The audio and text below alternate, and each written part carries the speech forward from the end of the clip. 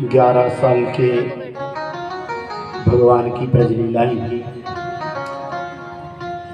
उनमें सात साल के जब भगवान हुए तो उन्हें गोवर्धन की पूजा करवाई। गिरिराज की कन्हैया, हमें पूजन करना याद नहीं है, कैसे करना चाहिए? भगवान ने कहा, कुछ नहीं करना। है घर घर से अन्न लाना है, अन्नपूर्णा का महाप्रसाद बनाना है, गिरिराज जी को भोग लगाना और सब वेर को मिटाना, प्रेम बढ़ाना, एक साथ प्रसाद पाना, बस यही गोवर्धन की पूजा है। अनकोट उत्सव मनाएँगे। घर घर से अन्न आएगा अन्नपूर्णा का महाप्रसाद बनेगा। गिरिराज जी को भोग लगाएँगे और सब एक साथ भोजन करना। इसी का नाम है गर्दन पूजा।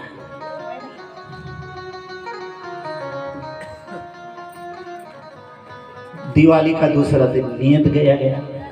गायों को सजाया गया। सोने चांदी, भागवत में तो लिखा है, झूल पहनाई गई। गाय की पूजा करी। गाय की पूजा का अर्थ ये नहीं है कि तीन तरह का कलर कर दिया, पाँच सौ रुपये का छड़ा बाँध दिया। ने जय गाय माता खुंटे कहीं नहीं माता। हो गई पूजा। खाली कलर करनी है, छड़ा बांधने से पूजा नहीं है। गाय को भरपेट आहार देना, भूसा देना, चारा देना, ये गाय की पूजा। बोले, हम दिवाली के दिन करते हैं, भरपेट खिलाते हैं। तो फिर अपन भी दिवाली के दिन खा लो, रोज क्या ज़रूरत है? दिवाली के दिन खूब मिठाई खाओ रोज क्या ज़रूरत है साहब? नित्य प्रति गाय को आहार देना यह है गाय की पूजा। गौ पूजा गाय की पूजा की गई। फिर गोवर्धन पूजा करने लगे। क्या करेगा नैया? बोलो गिरिराज जी को स्नान कराओ पहले। अरे भाई पूजा करे तो पहले स्नान कराना पड़ता है ना? तो आप गोवर्धन जी को पूजन आ, आ, इनको स्नान कराओ अभिषेक करो।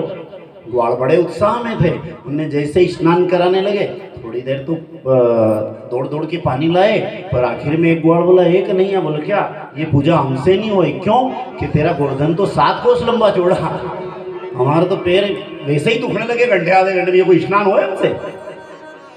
तो भगवान ने कहा, गिरिराज जी से कहो कि तुम्हें कौन स्नान करा सकता है? तुम्हारे चरण से तो गंगा निकली है, तुम तो अपना स्नान स्वयं कर लो। पूरे भगवान को हम क्या स्नान कराएँगे? ये तो हमारा भाव है, साहब। है? जो सबसे पवित्र जल गंगा है, वो तो चरण की धोवन है, उनकी चरणामृत है उनकी। ब्रह्मा जी ने चरण धोया था, कमंडल में रखा था, वही भागीरथ नीचे लाया, गंगा बन गया। क्या स्नान कराएँगे उसको? इसीलिए तो एक संत ने कहा है कि अजीब हैरान हूँ भगवान मैं बहुत परेशान हूँ। अजीब हैरान हूँ, भगवान, तुझे रिजाऊं मैं कैसे? अजीब हैरान हूँ, भगवान, तुझे रिझाऊं मैं कैसे? निकली है गंगा श्री चरणों से, फिर पवित्र जल लाऊं मैं कैसे? खिलाता है सारे जग को? खिलाता है जो सारे जग को, उसे भोग लगाऊँ मैं कैसे? अजीब परेशान भगवान, मैं तुझे रिझाऊं कैसे? खिलाता है सारे जग को। उसे मैं भोग लगाऊँ कैसे? फूलों में भी तू, मूर्त में भी तू। फूलों में भी तू, मंदिर की मूर्त में भी तू। बलो, भगवान पर भगवान को चढ़ाऊं मैं कैसे? अजीब परेशान हूँ भगवान। तुम्हें रिझाऊं मैं कैसे? कैसे रिझाऊं? क्या करूँ? भगवान ने कहा उनको क्या स्नान करो? केवल भाव से स्मरण करो कि भगवान अपना स्नान कर लो। सब भगवान हे गोवर्धन नाथ जी, हमसे ये नहीं बने, आप अपना काम सुन करो। तो बीज गोवर्धन में गंगा प्रकट हो गई, पानी पानी। अरे नदी आ गई अरे नदी आ गई। आज भी मानसी गंगा। जब मानसी गंगा की गिरिराज परिक्रमा में जाओ दान घाटी से बगल में, मानसी गंगा जो भगवान की मन कल्पना से प्रकट हुई। गंगा माँ साक्षात यहाँ आ गई थी। प्रकट हो गई थी। तो स्नान हुआ। फिर क्या करे बोले तिलक लगाओ।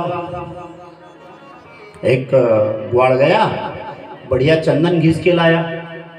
चंदन घिस के लाया मलियागिरी का सुगंधी चंदन। लो ये आ, तिलक निकालो भगवान जी। ने बोला पागल है तुम्हारा दिमाग खराब है बोल क्यों?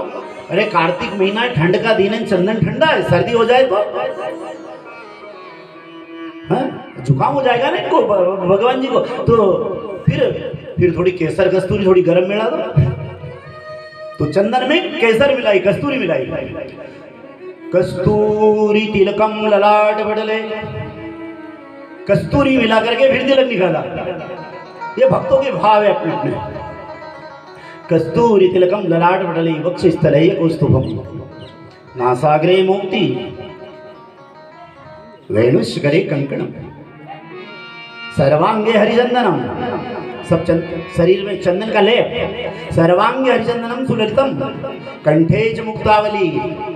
मुक्ता मुक्ता की माला है भगवान के लिए। कंठे च मुक्तावली गोप स्त्री पर विष्टितो गोप की स्त्रियाँ पूजन कर रही है गोप पूजन कर रहे हैं। गोप स्त्रम परिवेष्टित हो विजय गोपाल चूड़ावणी जय हो तेरी। हे गोपाल। गोवर्धन करने वाले कन्हैया। पूजा होने लगी। पूजा हुई है भगवान की। आरती हुई। अब क्या करें? बोलो, भोग लगाओ भगवान जी को। पूजन के बाद भोग लगाया जाता है ना भगवान को?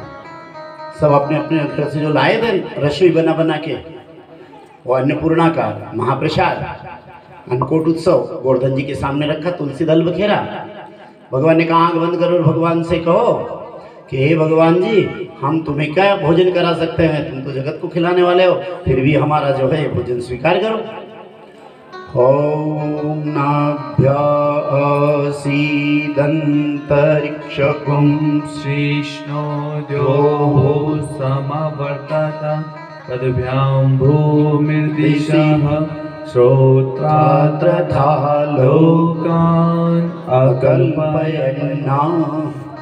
प्राणाय स्वा अपानाय स्वा समानाय स्वा व्यानाय स्वाहा जैसे ही मंत्र पढ़ा अब यहाँ भक्तों का भाव रखने के लिए इधर ग्वाड़ बनकर गोपाल है तो दूसरी तरफ़ गिरिराज बनकर गोवर्धननाथ बन के प्रकट हो गया। खाने लगा। एक ग्वाड़ वाला, एक नैया। ये तो सात कोस लंबा चौड़ा है सब खा जाएगा तो हमारा क्या होगा? हाँ। ये तो अच्छा है भगवान, कलयुग में खाना बंद कर दिया।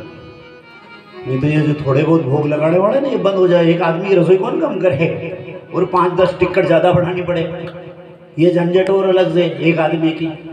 हाँ। भगवान ने कहा, भगवान जितना खाते हैं ना, इतना दस गुना करके वापस कर देते थे बहुत से लोग कहते हैं, भगवान भोजन करते ही नहीं तो फिर भोग लगाने से फ़ायदा क्या? बहुत से लोगों का ये मत है कि भगवान भोजन नहीं करते तो फिर भोग लगाने से क्या फ़ायदा? देखो, एक भमरा होता है भमरा तो भमरा जो है ना, फूल पर बैठता है और पराग ग्रहण कर लेता है। फूल को बिगड़ने भी नहीं देता, न भोजन भी कर लेता है। तो जब एक भमरा एक कीड़ा उड़ने वाला फूल को बिगड़ने नहीं देना, भोजन कर ले। तो ऐसे ही भगवान हमारे भोजन में से हमारा अनुराग ग्रहण कर लेते हमारा प्रेम ग्रहण कर लेते हैं, हमारा भाव ग्रहण करते हैं भगवान जी। हमारा भाव ग्रहण करते हैं। ऐसा नहीं कि भगवान को भोग नहीं लगाओगे तो भूखा, भगवान भूखे रह जाएँगे। भगवान तो भूखे नहीं रहेंगे। पर जो भगवान को भूल कर भोजन करता है तो इस जन्म में नहीं तो अगले जन्म में ज़रूर भूखे मरना पड़ता है। भोजन करना पाप नहीं है। पर भोजन में भगवान को भूल जाना पाप और करना कुछ नहीं, खाना अपने को ये सब। आओ भगवान, भोग लगाइए। इतना कहने में क्या जा रहा है? साहब कोई समय बर्बाद हो रहा है कि कहीं पैसा खर्चा हो रहा है, क्या हो रहा है? कैसे भी तुम्हारा मन ईश्वर में लगे, परमात्मा में लगे, तुम हर काम करो, पर हर काम में तुम राम से जुड़ो। यही संतों की इच्छा है, परिभाषा है ऐसा। हर काम में ईश्वर को जोड़ दिया, परमात्मा को जोड़ दिया, भगवान को जोड़ दिया। कि तुम कैसे भी भगवान से जुड़ो। भोग, आओ भगवान, भोग लगाओ। याद कर लिया, भगवान की याद चिंतन हो गई। भोजन प्रसाद पवित्र हो गया।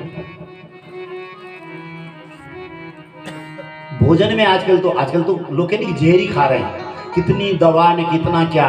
तो हमारे ऋषि मुनियों ने पहले ही से विचार किया कि भाई जहरीला भोजन है, भोजन में कोई गड़बड़ है तो भोग लगाओगे, तुलसी दल जो है, ऊपर डाल दोगे। तो वैज्ञानिक कारण है, धार्मिक तो है ही सही, भगवान से तो है, पर धार्मिक ही मानो तो तुलसी में एसिड होता है। तो उसका जो जहरीलापन है, वो खत्म कर देती है तुलसी। थोड़ा जहर का असर कम पड़ जाता है तुलसी से। तुलसी ऊपर रखने से क्यों रखी हमारे ऋषि मुनि ने, क्यों परंपरा बनाई है? ताकि हमारा शरीर का स्वार्थ, स्वास्थ्य भी ठीक रहे। हम बीमार भी नहीं पड़े भजन भी करते रहे, ने दुनियादारी का काम भी, ताकि तुम्हारी दुनियादारी भी ढंग से चलती रहे। हर क्रिया में परमात्मा को जोड़ दिया। इससे भगवान का धार्मिक तुम आध्यात्मिक भी बने रहोगे, भगवान की याद भी बने रहेगी, संसार का व्यवहार भी निभाते रहोगे, और शरीर का स्वार्थ भी आज हम नियम नहीं मान रहे, इसलिए तो आधे बीमार पड़ रहे हैं। अगर नियम का पालन व्यक्ति करे ना, कथा कहती है, कुछ शास्त्रों में नियम बताए गए हैं। यहाँ जैसे ही भोग लगाया गया, फिर सबने भोजन किया। भगवान बोले, देखो, तुम बड़े बुज़ुर्ग सब बैठ जाओ लाइन में, हम बच्चे परेशान सेवा करेंगे। अन्नकूट का रसोई ने यहाँ भगवान परोस रहे हैं। उनके स्वाद की तो प्रसाद का तो स्वाद ही अलग होता है सर प्रसाद प्रसाद होती है। ने कहा हाँ, आज तो इतना अच्छा बढ़िया भोजन बना कि खाते ही जाओ खाते ही जाओ कभी चार चार पेट हो जाए। तो भगवान बोले खाओ भोजन क्यों बनाया? खाने के लिए तो बनाया ना। भोजन को जीमो पर याद रखना भोजन करना पाप नहीं है पर भोजन को अपनी थाली पत्तल में झूठन छोड़ देना महापाप है। अपनी थाली में अपनी पत्तल में अन्न का अन्न को झूठा छोड़ना यानी अन्न का अपमान है अन्नपूर्णा का अपमान है। कभी भी थाली या पत्तल में झूठा नहीं छोड़ना चाहिए नहीं तो अन्नपूर्णा नाराज़ हो जाती है कि तूने मेरा अपमान किया है तो इस जन्म में नहीं तो अगले जन्म में ज़रूर भूखे बनना पड़ेगा। और धार्मिक भावना ये कहती है कि देखो तुम पत्तल में जो झूठा छोड़ोगे, थाली में जो झूठा छोड़ोगे, और झूठन को जो खाएगा, वो हमारा पुण्य खा जाएगा और उसका पाप हमारे माथे पर आ जाएगा। इसलिए सनातन धर्म कहता है कि न किसी को झूठा खिलाना और न किसी का झूठा खाना। किसी का झूठा खाना भी नहीं चाहिए और किसी को झूठा खिलाना भी नहीं चाहिए।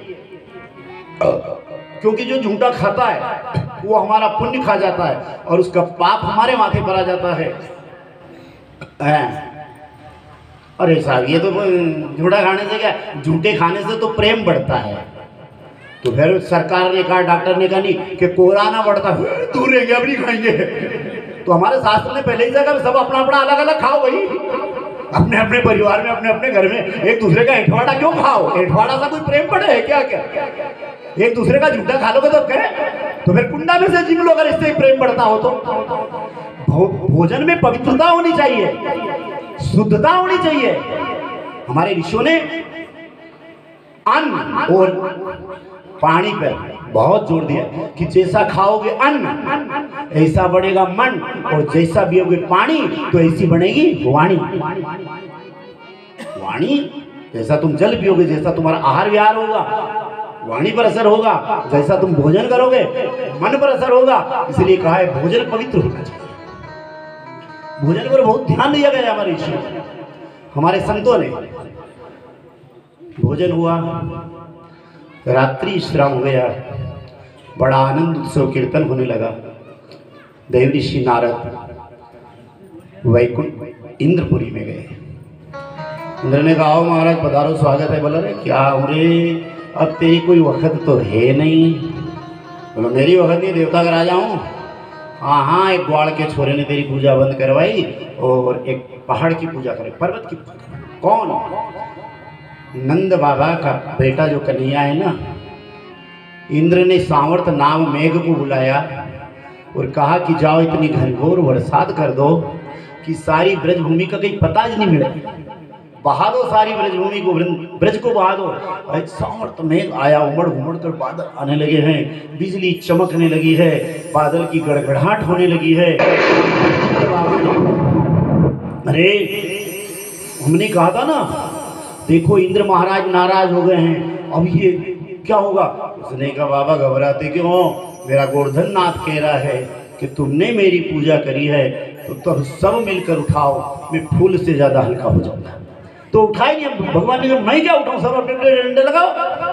सब अपना अपना कर्म करो। सबने अपने अपने डंडे लगाए, कन्हैया ने अपनी तर्जनी उंगली लगाई है। गिरिराज को धारण किया और भागवत कहती, सप्तम दिवस रात्रि सात दिन और सात रात्रि और सब ग्वाल बाल भगवान कृष्ण के साथ कीर्तन कर रहे गोविंद। हे गोपाल, गोवर्धन गिरे न पड़े। गिर न पड़े गोपाल, गोवर्धन गिर न पड़े। गिर न पड़े गोपाल, गोवर्धन गिर न पड़े। गिर न पड़े गोपाल, गोवर्धन गिर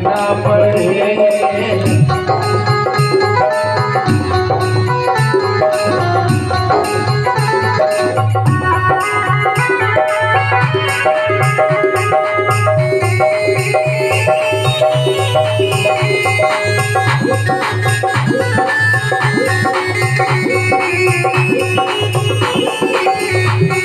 पड़े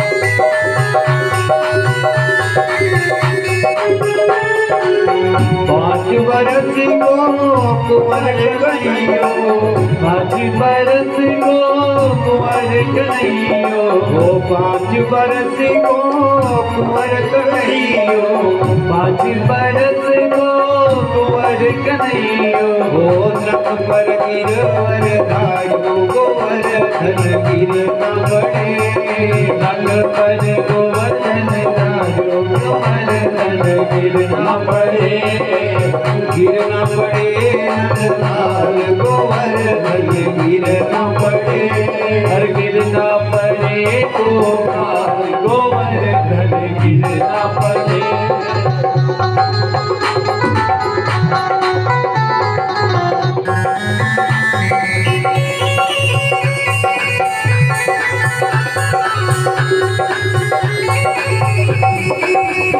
ग्वाल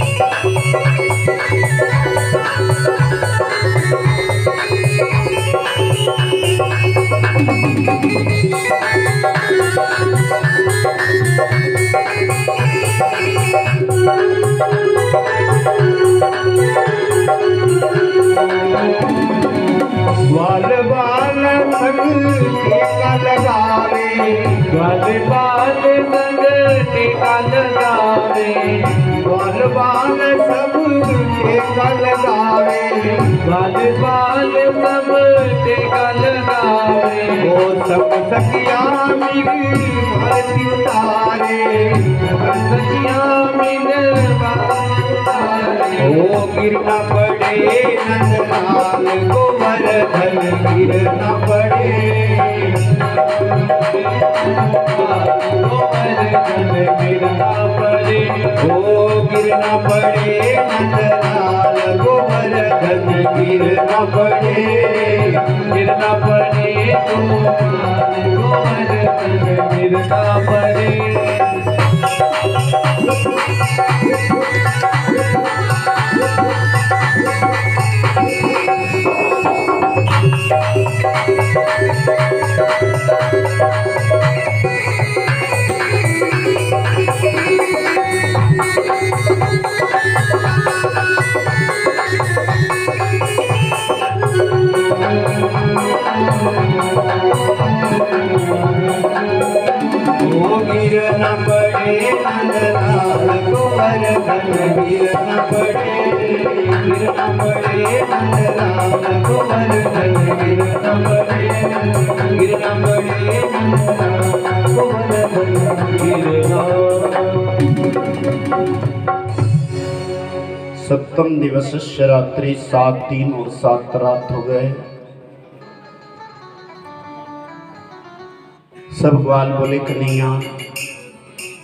तेरे हाथ में दर्द होने लगा होगा। हाथ नीचा कर ले। तकलीफ़ हो रही है ना? ऐसा ही हाथ कर लिया।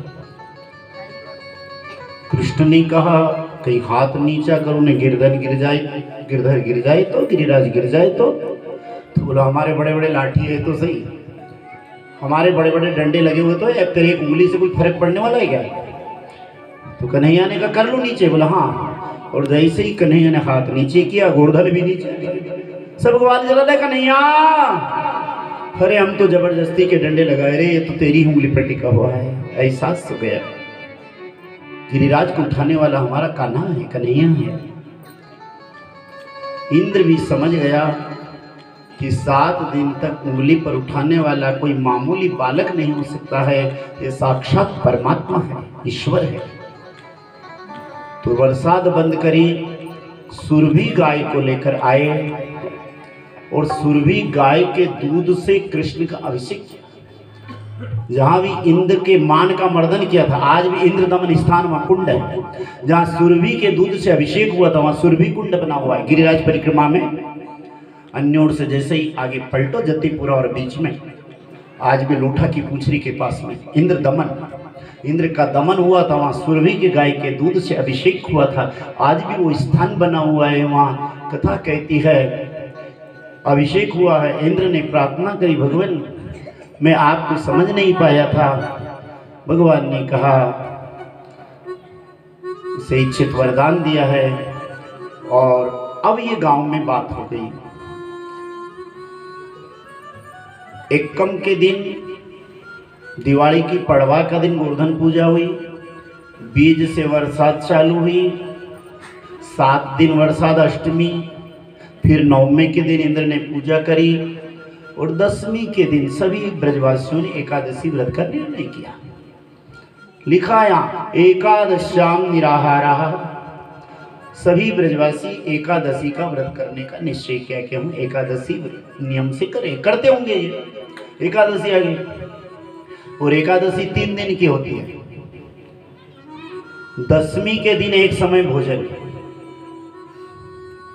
और दस चीज़ों का त्याग। मिर्च, मसाला, प्याज, लहसुन, तेल तेल, उड़द, मांस, मदिरा, तामसिक जो भी चीज़ है इन चीज़ों का परित्याग करके दसवीं के दिन इंद्रियों का संयम करें और ये संकल्प करें कि हम एकादशी का व्रत करने जा रहे हैं। एक समय भोजन करें, ग्यारस के दिन बन सके तो निराहार। यहाँ भागवत में लिखा है एकादशम निराहार निराहार करना चाहिए। अगर नहीं कर सकते हैं तो थोड़ा सा फल फूल गाय का दूध आदि। ग्यारस हाँ। तो चंद्रावती चंद्रावतीगंज जाए कि उज्जैन एक किलो नमकीन अच्छी बढ़िया वाली, तेल में जो बने, तेल का त्याग।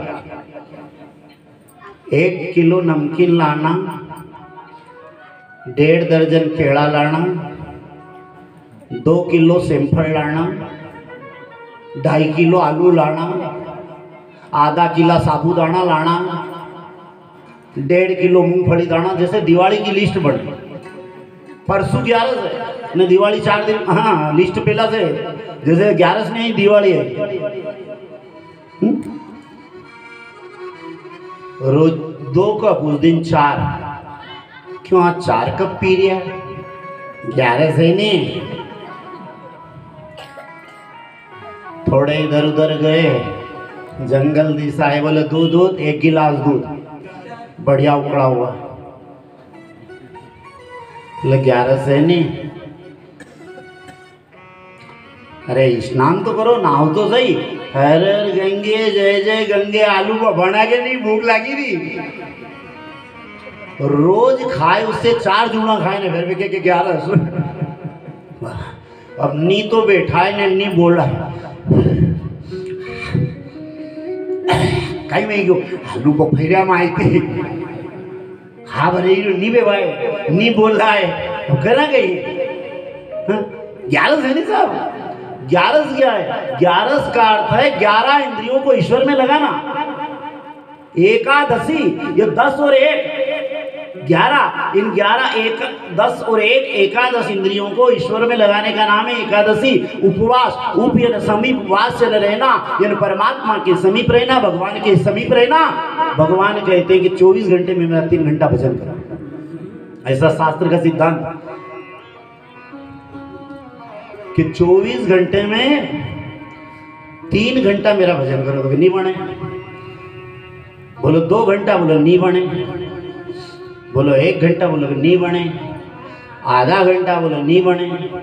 पंद्रह मिनिट, अरे कई पछे पड़ी है, मारा, मरवा इतनी फुर्सत को नहीं मरांगा वंदन तो हगली फुर्सत हो जाएगा, क्या नो अधूरन, क्या नो पूरो?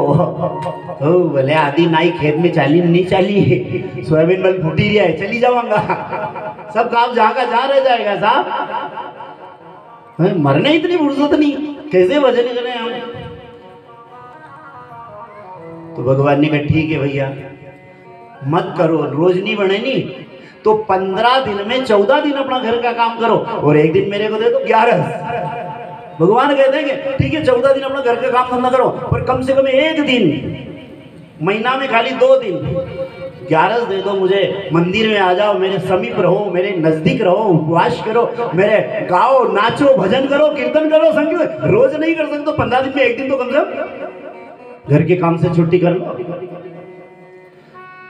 जब तक रहेगी ज़िंदगी, फुर्सत न मिलेगी काम से।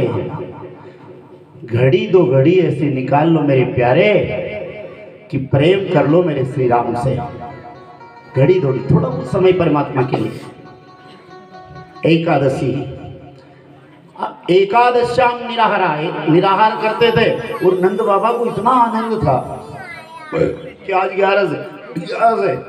तो पहले घड़ी अड़ी तो थी नहीं।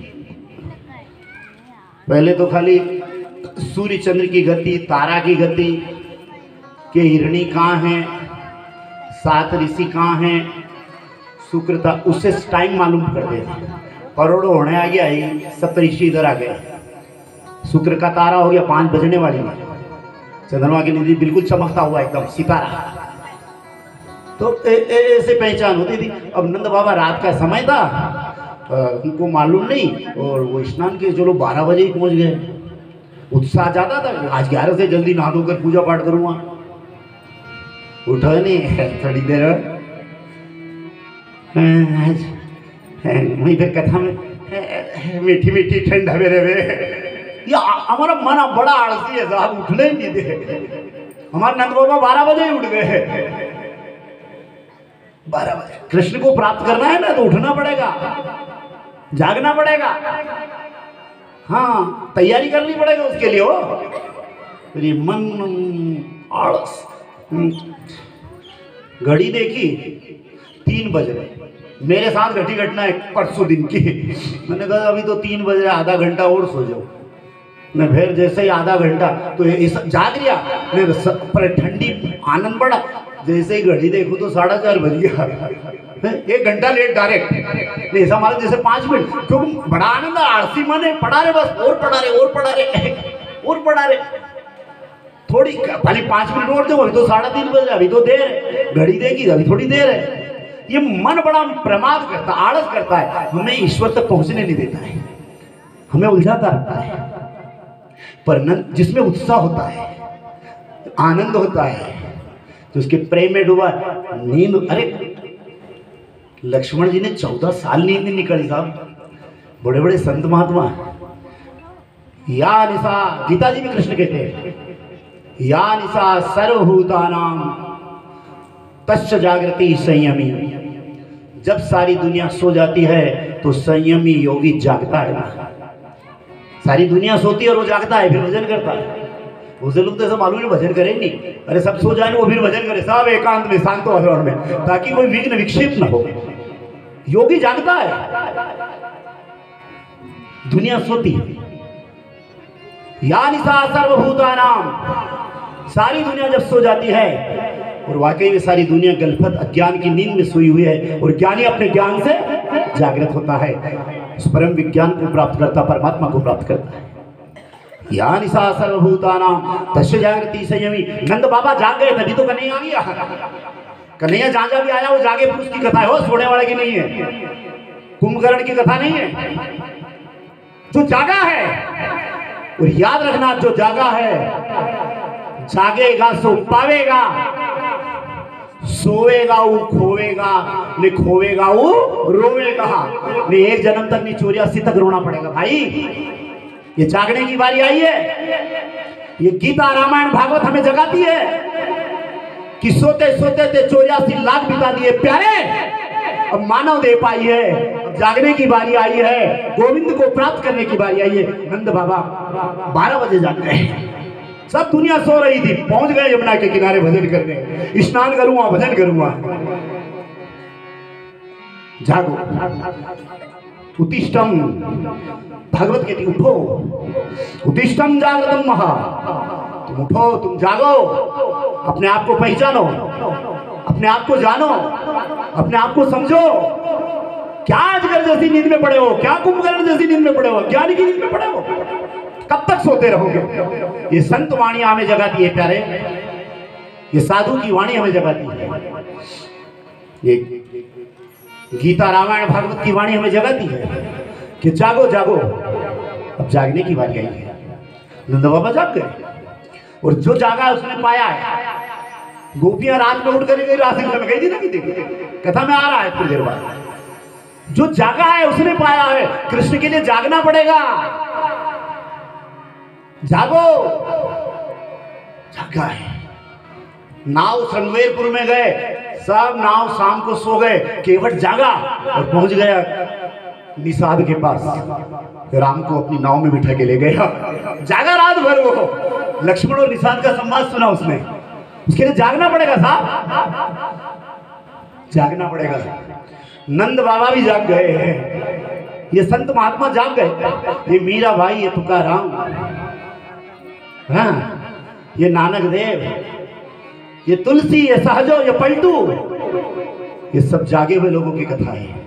सोए हुए मुर्दों की कथा नहीं है। जो जागा है, उसने पाया है। इसके लिए जागना पड़ेगा। नंद बाबा जाग गए। और जैसे ही गए, यमुना में डुबकी लगाने के लिए ग्यारह से तीन का समय निशीचर काल होता है। उस समय जल भी आराम करता है। नदी भी आराम करती है। वरुण बाबा के दूत ने नंद बाबा को पकड़ लिया। वरुण लोक में ले गए। सुबह देखा तो कन्हैया जी ने। कन्हैया कहाँ गया? कन्हैया का कहीं पता ही नहीं। नंद बाबा का पता नहीं। नंद बाबा भी यशोधन का रात को जल्दी नहाने गए थे यमुना जी में? हाँ हमारा तो कन्हैया गायब है ना। वहाँ नंद बाबा गायब है कृष्ण के लिए। और हमारा तो कृष्ण ही गायब हो गया है। ढूंढना है इसको। और ढूँढने के लिए जागना पड़ेगा। ढूंढना है। कृष्ण हमसे दूर चला गया है थोड़ा। उसके पास जाने के लिए जागो दौड़ो भागो। मंदिर में जाओ तीर्थ में जाओ सत्संग में जाओ सज्जन के सत, संतों के संग में जाओ। जाओ। भागना पड़ेगा, जागना पड़ेगा, चलना पड़ेगा। तभी तो मिलेगा ना हमारा कन्हैया। थोड़ा दूर हो रहा है, हमसे दूर हो चुका है। कथा कहती है, नंद बाबा स्नान करने गए थे। कपड़े यमुना के किनारे पड़े। कन्हैया ने कहा, हम बच्चे लोग हैं, तैरते हैं, गोता लगाते, मैं देखता और कृष्ण समझ गए। सीधी डुबकी लगी तो वरुण लोक में। वरुण देवता ने प्रणाम किया, सिंहासन पर बिठाया, आरती करी। यहाँ से कृष्ण की पहचान चालू हुई है साहब। नंद बाबा बारह बजे जाकर तपस्या करी, साधना करी। अब नंद बाबा ने देखो वो वरुण लोक का राजा मेरे छोरे की पूजा कर रहा है। ये तो कोई मामूली नहीं है। अब थोड़ी थोड़ी पहचान उघाड़ी होने लगी। जिसको हम ग्वाला समझ रहे हैं, अपना लाला समझ रहे हैं, ये कोई लीलाधारी है। ये कोई मामूली नहीं है। वरुण भगवान ने कहा नंद को लाना तो बहाना था। बाकी गोविंद आपको यहाँ बुलाना था। नंद को लाना तो एक बहाना था, बाकी आपको यहाँ बुलाना था। ले जाओ इनको, लेकर आए हैं। सारे गाँव में आनंद की लहर हो गई और नंद बाबा ने कहा कि मुझे तो वरुण लोक में पकड़ के ले गए थे। कृष्ण आया तो वहाँ देव, वरुण जो जल का राजा है अधिष्ठाता देवता है, उसने भी कृष्ण की पूजा करी वरुण जल रस का है। जिसने रसेंद्रियों पर विजय प्राप्त कर ली, जिसने संसार के रस को जीत लिया है, कृष्ण तक पहुँच गया है। जो रस संसार में आ रहा है ना तुम्हारा, तुम भाग रहे हो ना? हाँ ये गाँव में बात हुई तो गाँव के लोग समझ गए कि है न है ये कृष्ण परमात्मा है। अब ये चर्चा थोड़ी चेचे ची बेबे। हाँ वरुण लोक में ले गए थे तो वहाँ से लाए नंद बाबा को। ये छोरा कोई मामूली कोई सात साल का छोरा नहीं वरुण लोक में पाताल में चला जाए क्या? हाँ हमें भी लगता है, सात साल की उम्र में गिरिराज को उठाए। बड़े बड़े पहलवान एक पत्थर नहीं उठा पाए कुंटल दो कुंटल सात कोस लंबा जोड़ा पहाड़ उठाए। लगता तो है भगवान है। अब थोड़ी थोड़ी अकल आई समझ में। जब जागे तब। हाँ पुतना को मारना कोई मामूली काम नहीं था भगवान है। मीटिंग होने लगी। एक दिन नंद जी के छोटे भाई उपनी जी ने मटे मीटिंग बुलाई। वैसे गाँव को बुलाते तो नंद बाबा बुलाते क्योंकि तो मुखिया थे वो, ग्वाड़ के। पर आज छोटे भाई ने बुलाया सबको। यहाँ हो साहब, आज गाँव में इकट्ठा होना? सब क्या? नंद बाबा भी आए, आज ये इमरजेंसी मीटिंग है, बोलो क्या? ये कृष्ण कौन है? ये कृष्ण कौन है? उन्होंने कहा, कौन है? मेरा छोरा है और कौन है? ये मेरा बेटा है ना? तो उन्होंने कहा, नहीं नहीं, छोटा सा छोरा, छह दिन का था ना पूतना मारी। तीन महीने का था छकड़ा उल्टा। नल कुबर मणि, वो वृक्ष, अर्जुन के वृक्ष गिरा है। साल भर का तृणावर्त का उद्धार किया। अघासुर, बकासुर को तीन साल की उम्र में उद्धार कर दिया। वत्सासुर, बकासुर गिरिराज काली नाग के फण पर नाचा। तो ये कोई ग्वाल का छोरा हो सकता है क्या? नंद बाबा ने कहा हम भगवान की पूजा करते हैं, गाय माता की सेवा करते हैं ना तो गाय माता मेरे बेटे को बल और यश देती है। हम गाय की सेवा करते हैं ना तो हमारे बेटे को बल, यश मिलता है। नहीं, हमें शंका है। एक बात पूछे नंद बाबा, बोला हाँ नंद जी गोरे हो, यशोदा जी भी गोरी। तो फिर ये कन्हैया काढ़ा क्यों है? नंद बाबा ने कहा इसका मैं करूँ? ये तो कलर है हो गया अब अभी इसमें कोई अपना हाथ में थोड़ी है कोई? काला सफ़ेद जो भी बन गया सो बन गया। नहीं अगर नंद गोरे यशोदा तो हाँ, ये भी गोरा होना चाहिए नहीं। मतलब कहने का ये छोरा तुम्हारा नहीं है। ये बात यशोदा तक पहुँची तो यशोदा का दिल बैठ गया। ये दुनिया के लोग मेरे कृष्ण पर उंगली उठाने लगे हैं। इशारा कर रहे हैं कुछ। यशोदा ने कृष्ण को छाती से लगाया। गोद में बिठाया। माथा सूँगा और कहा, लाला, एक बात पूछूँ रे? हाँ पूछो मैया। तू किसका है रे? कन्हैया ने गौर से देखा, माँ। एक माँ अपने बेटे से पूछे कि तू किसका है? मैया मैं तेरा लाल हूँ, मैं नंद लाल हूँ, मैं तेरी आँखों का तारा हूँ। तेरा दुलारा हूँ, माँ तेरा बेटा हूँ।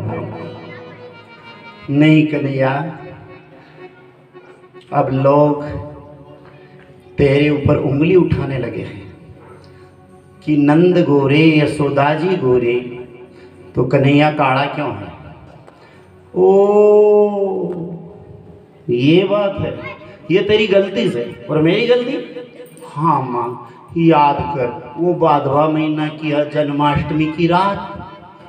अरे, आकाश में बादल थे, काली काली रात थी। मेरा जन्म हुआ तो तू सो रही थी न, मैं रो रहा था।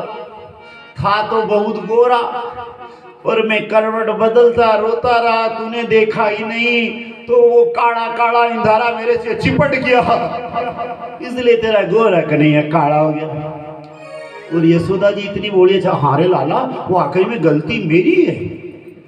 अब इतनी बोली कि इंदारा भी कोई छोट है क्या? पर याद रखना, भगवान मिला है तो भोले को ही मिला है। कपटियों को, डोंगियों को, पाखंडियों को अपना कितना भी भले आडंबर कर ले कितनी भी दुकानदारी दिखा ले, भोले का भगवान है। मीराबाई, सहजोबाई, जनाबाई, कितनी सहज कितनी सहज। जिनने भी पाया है ना साहब, या तो कोई परम भक्त हो, या कोई परम सरल, सरलता की हद में नीचे हो, भगवान प्रकट हुआ है। यशोदा मान गया हाँ वाकई में। काला इंद्र चिपट गया। अपना तर्क नहीं लगाया। और याद रखना शास्त्र वाणी संत वाणी भगवत वाणी हो, वहाँ अपना तर्क लगा नहीं लेना, वहाँ अपनी बुद्धि काम भी नहीं करेगी। जो परमात्मा कहे उसको मान लो, जो संत कहे उसको मान लो। मानने में ही भलाई है भाई। वहाँ अपनी बुद्धि काम, क्योंकि हमारी इतनी क्षमता नहीं हम उसके। ही हमारी क्षमता नहीं है इतनी। जो भी कह दे, संत कहे या भगवंत कहे उस पर अपना तर्क वितर्क मत चलाओ अपनी बुद्धि मत चलाओ अपनी अकल मत चलाओ। हम ज़बरदस्ती डेढ़ अकल वाले बनते हैं। हाँ।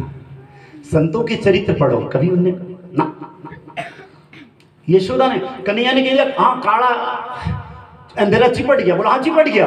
उसने अपनी बुद्धि एक मिनट भी नहीं लगाई कोई काला अंधेरा भी चिपटे क्या नहीं तो दूसरा तो हाँ, हे लापर हे झूठ ना। गोविंद। तू जो बोलता वो सत्य है, तेरी लीला से सब कुछ हो सकता है। सब कुछ हो सकता है। परम निष्ठा, परम आदर्श, पराकाष्ठा होती है वहाँ निज बुद्धि खो जाती है वहाँ। निज चातुरी नहीं चलती वहाँ। छोड़ो। छोड़ दो। पर वही बात कन्हैया गोपी से कहता है तो कुछ अलग ढंग से कहता है। निकुंज में रासलीला में गए सरकार। गोपियों ने कहा, सांवरे, बहुत सुंदर हो, लाजवाब। बस देखता ही रहूँ। फिर भी सांवरे क्यों हो? थोड़े गोरे होते तो और तो कन्हैया कहते, तुम्हारे कारण? बोलो, हमारे कारण? बोलो हाँ क्यों? हे सखियों, सखी गोपियों को सखी कहता था कन्हैया मेरी सखी हो। द्रौपदी को कभी द्रौपदी नहीं कहा कन्हैया ने द्रौपदी को सखी कहता था ये सख्य शब्द जो है ना, बड़ा तंग शब्द है सखी, एक विचार करो, तुम्हारी आँख में कौन रहता है? बोलो, हमारी आँख में तो शाम रहता है। हाँ हाँ सदा हम खाते पीते, उठते, बैठते, हम तो जहाँ देखे वहाँ शाम दिखाई देता है। बस बस बस। तुम्हारी नज़र में शाम रहता है और तुम अपनी आँखों में काजल लगाती हो तो तुम्हारा कन्हैया तुम्हारे काजल से काला हो जाता है। हूँ तो गोरा। नहीं तो लोग मेरा ध्यान करते शुक्ल वर्णम चतुर्भुजम प्रसन्न वदनम ध्यायेत सविघ्नो शांतय। भगवान का सफ़ेद वर्ण है सब ध्यान मंत्र में आया है, कपूर जैसा। शुक्ल वर्णम चतुर्भुज, सफ़ेद वर्ण है, चार हाथ। तुम्हारे काजल क्योंकि जो आँख में है ना, वो दिखाई देगा भाई। वो एक नाथी रामायण में आया है ना। एक नाथ जी महाराज कथा कर रहे थे सुंदर कांड जब हनुमान जी महाराज अशोक वाटिका में गए तो वहाँ के फूल बड़े सफ़ेद सफ़ेद खिल रहे थे। एक बार तो हनुमान जी कहते जहाँ कथा होती, वहाँ आते हैं। सूक्ष्म हनुमान एक बार दूसरी बार फिर वहाँ बहुत सफ़ेद सफ़ेद, सुंदर सुंदर फूल खिल रहे थे। महाराज से रहा नहीं गया महाराज, कथा बंद करो। झूठ बोल रहे हो? एक नाथी रामायण में है। बंद कर दो यूँ कहो, फूल सफ़ेद नहीं, लाल थे। नहीं ब्रह्म वाक्यम जनार्दन जो भगवान ने बोल दिया, सो बोल दिया। मैं थोड़ी बोल रहा मैं तो यंत्र हूँ। मैं तो मसीह हूँ कैसी बोलने वाला कोई और है? निकल गया, सो निकल गया। अब ये बदलाएगा नहीं। वहाँ फूल लाल थे कौन हो तुम? मेरे को नहीं जान दे मैं हनुमान हूँ, मैं अपने आँख से देखा फूल लाल थे। फूल सफ़ेद थे। नहीं बदलना, नहीं बदलूँगा। दोनों भक्त अपनी अपनी जिद पर अड़ गए। मजिस्ट्रेट के पास फैसला गया। तो विवाद होगा तो प्रतिवाद जाऊँगा तो कहीं न्याय के लिए जाना पड़ेगा। और दोनों का सरकार मजिस्ट्रेट एक है। पहुँच गए अयोध्या। जय हो बोले, क्या बात है? ये कहता सफ़ेद है। मैं कहता हूँ, लाल है। भगवान, आपको निर्णय देना है कि सत्य कौन है। राम जी ने कहा, मैं तो कभी अशोक वाटिका में गया ही नहीं। पर सीता जी बहू, तुम्हारी माँ बहुत दिन रही है वहाँ। अशोक वाटिका में तो इसने देखा होगा, उनको बुलाओ वो सही फैसला करे। सीता जी को बुलाया। कभी कभी हमारे राम जी वैसे तो बड़े शांत, सरल है, पर कभी कभी विनोद करते हैं कि तीसरा प्रतिवादी और बुला लिया है, कौन है? दो तो थे ही सही। कभी कभी थोड़ा सुंदर विनोद करते हैं। कुछ कुछ जगह में आया है। सीताई, हनुमान कहता लाल है एक नाथ कहता सफ़ेद है। अब तुम बताओ कि एक नाथ सत्य है कि हनुमान सत्य है? तो उन्होंने कहा दोनों झूठे के झूठे। न मैंने देखा, न फूल लाल है, न सफ़ेद है। मैंने तो इतने दिन रही, मैंने फूल को देखा सब शाम थे अब सीता कहे शाम थे मैं इतने दिन में झूठ बोलूँगी क्या? मैंने देखा। हनुमान कहे लाल थे एक नाथ कहे सफ़ेद थे। हनुमान राम जी हंस रहे तीनों लड़ रहे न महाराज आप हंस रहे हो? अब लड़ने वाला लड़े देखने वाला तो हंसेगा उनको महाभारत परवारी मिले। आप कसरत करो।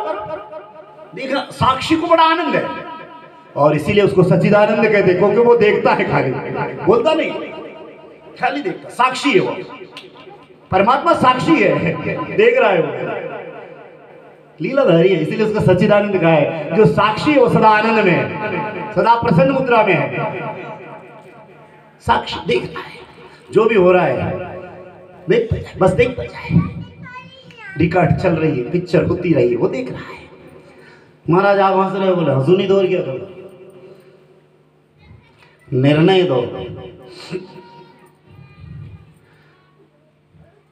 तो राम ने कहा, भाई सीता, बहुत दिन रही वाकई में वहाँ। तो सत्य ही कहती होगी।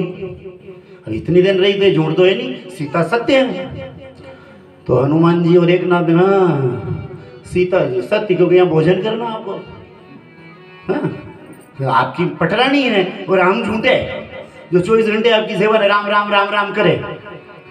हनुमान झूठ मत, आप भी झूठे नहीं, आप भी सही हो। तो एक नाथ ने कहा फिर मैं झूठा। आंदो बांटे रेवड़ी घर घर नच खा के यो सही नहीं, यो सही नहीं, हूँ झूठ। क्योंकि मैं भिखारी ब्राह्मण। हम झूठ नहीं है सत्य। तो राम ने कहा नहीं एक नाथ तुम भी सत्य हो, परम सत्य हो। यथार्थ हो। तीनों ने कहा हमारा निर्णय में आनंद नहीं आया। ये भी सही, ये भी सही, ये भी सही। अब कोई एक सही होना चाहिए ना? तीनों को सही बता दिया। तो उन्होंने कहा, बात ये है, अगर सही देखा जाए तो यथार्थ में सत्य हनुमान है। एक नाथ है, क्योंकि वहाँ के फूल सफ़ेद थे। ये अपनी ज्ञान दृष्टि थे जैसे तो लंका में अशोक वाटिका के जो फूल थे, वो सफ़ेद थे तो फिर लाल, बोलो, आप उस समय बड़े क्रोध में थे, गुस्से में थे। और क्रोध का रंग लाल होता है, आँख में लालिमा छाई थी, इसलिए आपको फूल लाल दिखाई दे। तो फिर मैं सीता ने कहा, बोले, आप भी उनसे कोई कम सत्य नहीं, फूल तो सफ़ेद थे, पर आपकी नज़रों में, आपकी आँखों में राम समाया हुआ था तो राम का रंग श्याम है तो आपको भगवान के सिवा कुछ दिखाई नहीं देता था, राम ही राम दिखाई आप परमात्मा को देख रहे थे जिसकी आँख में जो है वही देखेगा। आपकी आँखों में मैं हूँ, आप आँख में काजल लगाती हो, काजल से कन्हैया काला हो जाता है। पर एक दिन किशोरी ने पूछा, सरकार, बहुत सुंदर हो सांवरा, फिर भी श्याम रूप क्यों बनाया? तो कृष्ण कहते, तुम्हारे लिए क्यों? क्योंकि दुनिया कहती कि अगर मैं गोरा होता तो दुनिया कहती कि किशोरी लाडली, कृष्ण के रंग रूप पर रिच कर दीवानी बन गई। पर मैंने दुनिया को बताया है कि किशोरी मेरे रूप रंग पर नहीं रिझी है, मेरे शरीर पर नहीं रिझी है, मेरे तन पर नहीं रिझी है।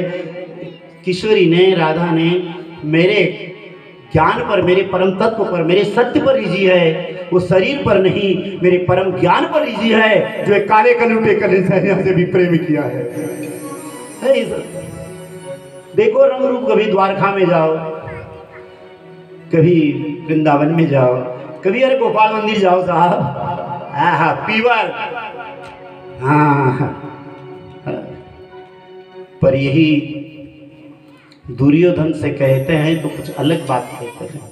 दुर्योधन जब पांडव के दूध बनकर गए और उनका राजा था, उनके सुई की नोक के बराबर बिंदु तो मरी आई अब तुम्हारी मौत आई तो मरो मैं भी क्या रू तूने कहा "रे, कालू कलूटे का नहीं है तू ये बात कर रहा? मैं कहा "हाँ, मैं काला हूँ क्योंकि काल का रंग काला है। मैं तुम्हारा विनाश करने आया हूँ तुम्हारा संहार करने आया इसलिए काला रूप बना कर।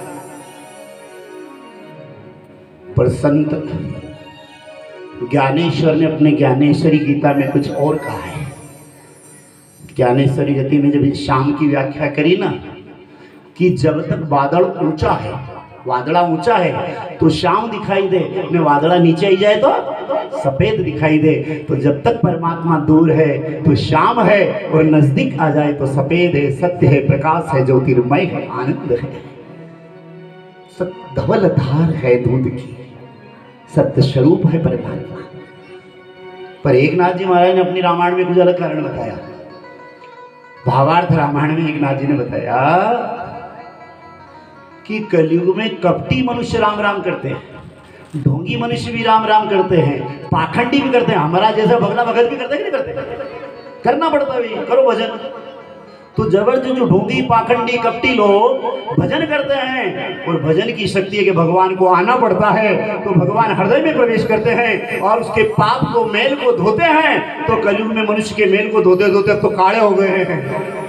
इन कपटियों का कपट धोते धोते, ढोंगियों का ढोंग धोते धोते, इनको पवित्र करते करते गिद्ध अजामिना किस लिस्ट बनाई है गोस्वामी जी ने इनको उस पवित्र बना सफ़ेद बनाते बनाते, रगड़ते रगड़ते रगड़ते। उनके हाथ में ही शरीर में मेल जम गया भगवान को। हाँ कथा कहती है, भगवान काले क्यों है? तो कुछ कवियों ने भी गाया है। जरा इतना बता दे काना, कि तेरा रंग काला क्यों? जरा इतना बता दे काना। तेरा रंग जरा इतना बता दे कि तेरा रंग जरा इतना बता दे काना कि तेरा रंग जरा इतना बता दे काना तेरा रंग काला क्यों? कर भी जग से काला हो कर भी जग से। काला हो कर भी जग से। काला हो कर भी जग से।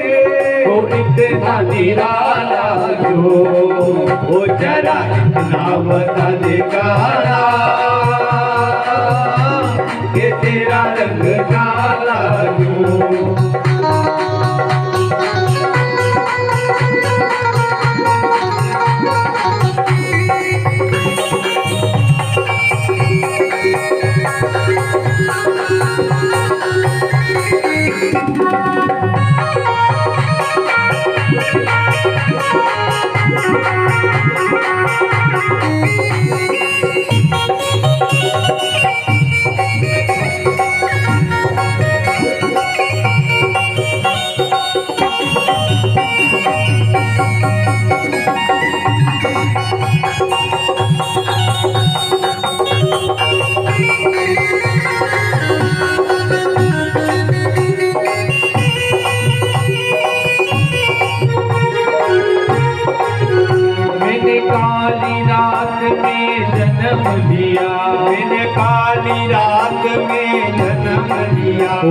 मैंने काली रात में जन्म दिया। मैंने काली रात में जन्म दिया। ओ मैंने काली गाय का दूध पिया। मैंने काली गाय का दूध पिया। हो रातों का रंग भी काला रातों का रंग भी काला और गायों का रंग भी काला। गायों का काला। अरे इसलिए मैं काला। जरा इतना बता दे काला तेरा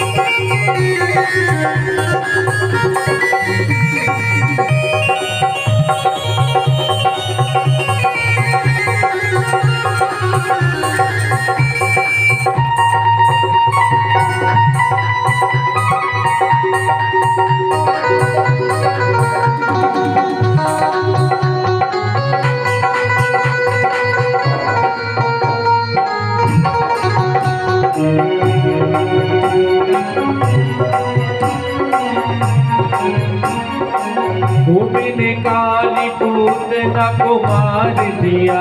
मैंने काली पूतना को मार दिया। मैंने काली पूतना को मार दिया। मैंने काली को मार दिया। मैंने काली अपन पर नृत्य किया मैंने काली अपन पर नृत्य किया वो पूतना का रंग भी काला। पूतना का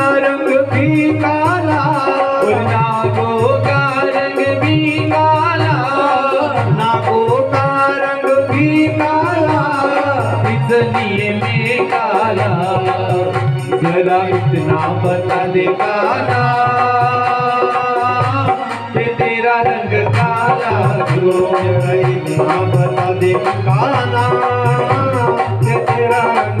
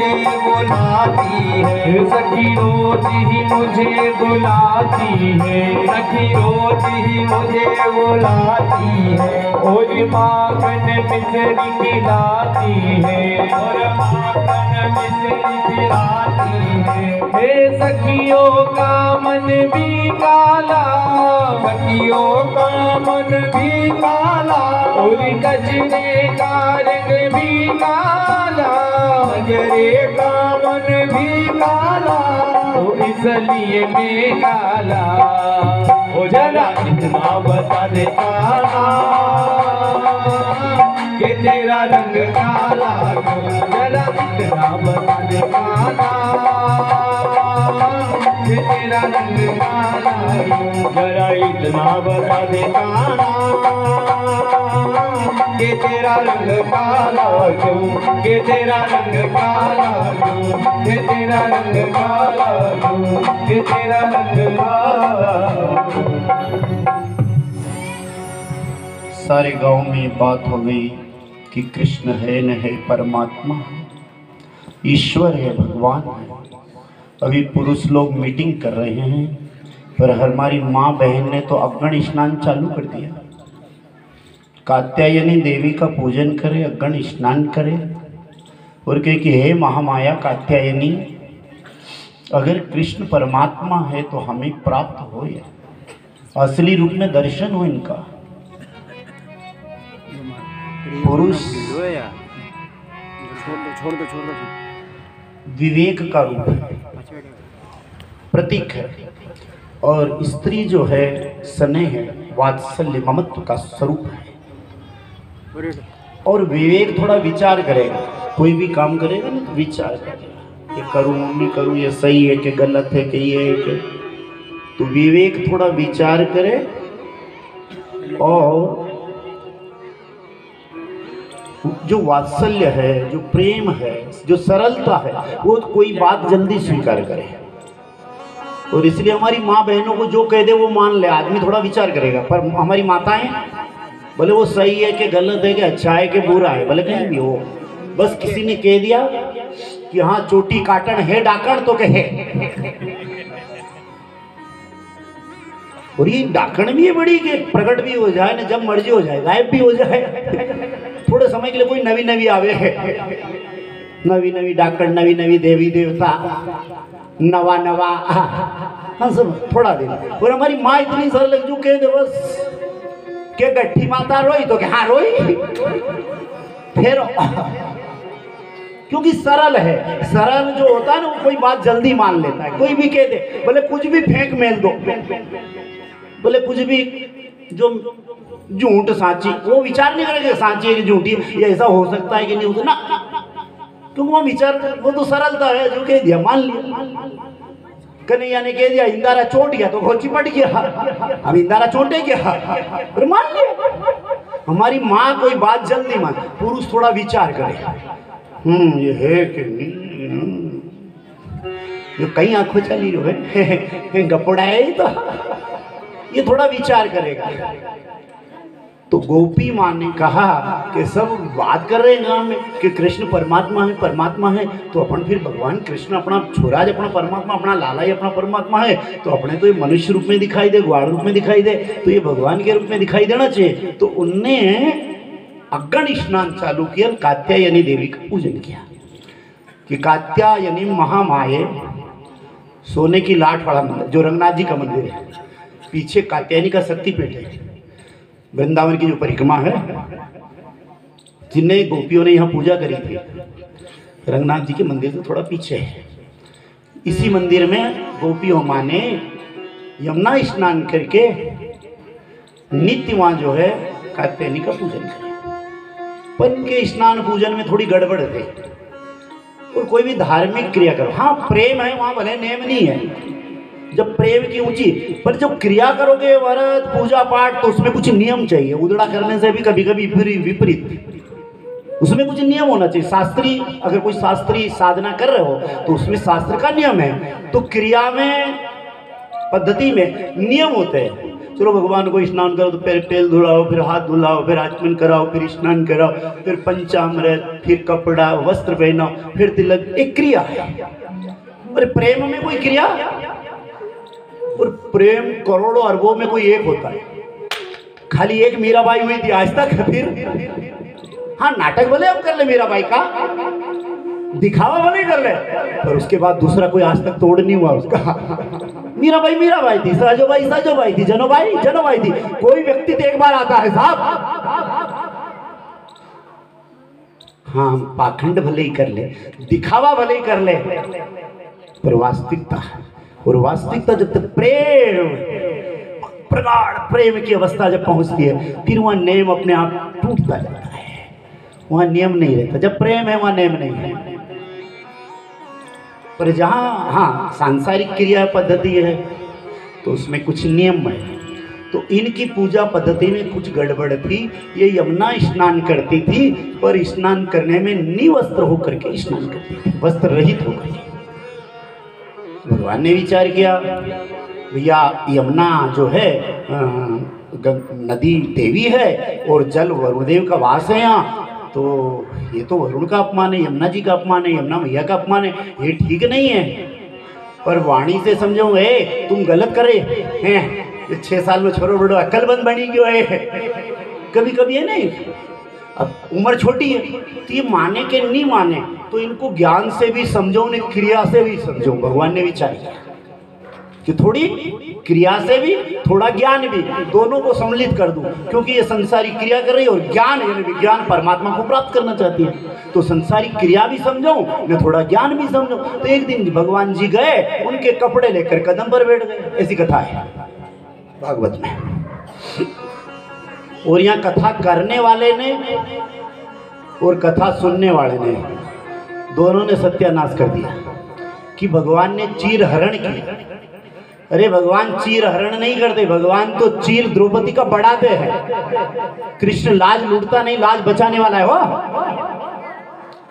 यदा यदा धर्मस्य ग्लानिर्भवति भारत, अभ्युतानम अधर्मस्य जब जब धर्म को ग्लानी होती है तो धर्म को ग्लानी मिटाने के लिए, धर्म का विनाश करने के लिए भगवान का प्रकट होता है। लक्ष्य तो देखो, इसका काय है? खाली थोड़ा सा अपनी बुद्धि ज़बरदस्ती लगाए वहाँ। उस क्रिया में, उस लीला में कारण क्या था? थोड़ा विवेक से विचार करो। वो चीर बढ़ाने वाला है। चीर हरण करने वाला नहीं है। नहीं कहा कदम पर गोभी बोली हमारे कपड़े वस्त्र दे दो। बोलो आ जाओ ले जाओ। बोलो हम वस्त्र ही दे कृष्ण ने कहा मैं जानता हूँ। कृष्ण ने कहा, "अब- और वो तो अंतर्यामी है उससे क्या छिपा हुआ है सब वो जानता है। तभी तो आया है वो कि यहाँ गड़बड़ है तुम्हारी मैं जानता हूँ ये गड़बड़ कर रही हो। और जब तक तुम्हारे जीवन में गड़बड़ है तब तक मुझे प्राप्त नहीं कर पाओगे। तुम्हारे जीवन की गड़बड़, ये सब घोटाला, ये खत्म करना पड़ेगा। तुम जब तक तुम्हारे जीवन के दोष है, तब तक मैं नहीं मिलूँगा, तुम निर्दोष बनो। दोष रहित हो, ये तुम्हारा दोष ही दर्शन में पर्दा बनकर आड़े आ रहा है। जो हमारे जीवन के दोष है ना, जो कुछ हमारी ऐसी क्रियाएँ हैं, जो हमसे परमात्मा से हमें दूर कर रही है, भगवान ने कहा, मैं जानता हूँ, आ जाओ ले जाओ हम वस्त्र रह रही थे, बोले हाँ। देखो मैं तो बच्चा हूँ। उम्र कितनी है अभी उनकी? मत मानो भगवान। कोई ज़बरदस्ती नहीं हो भगवान मानने की। उसे मनुष्य मान लो।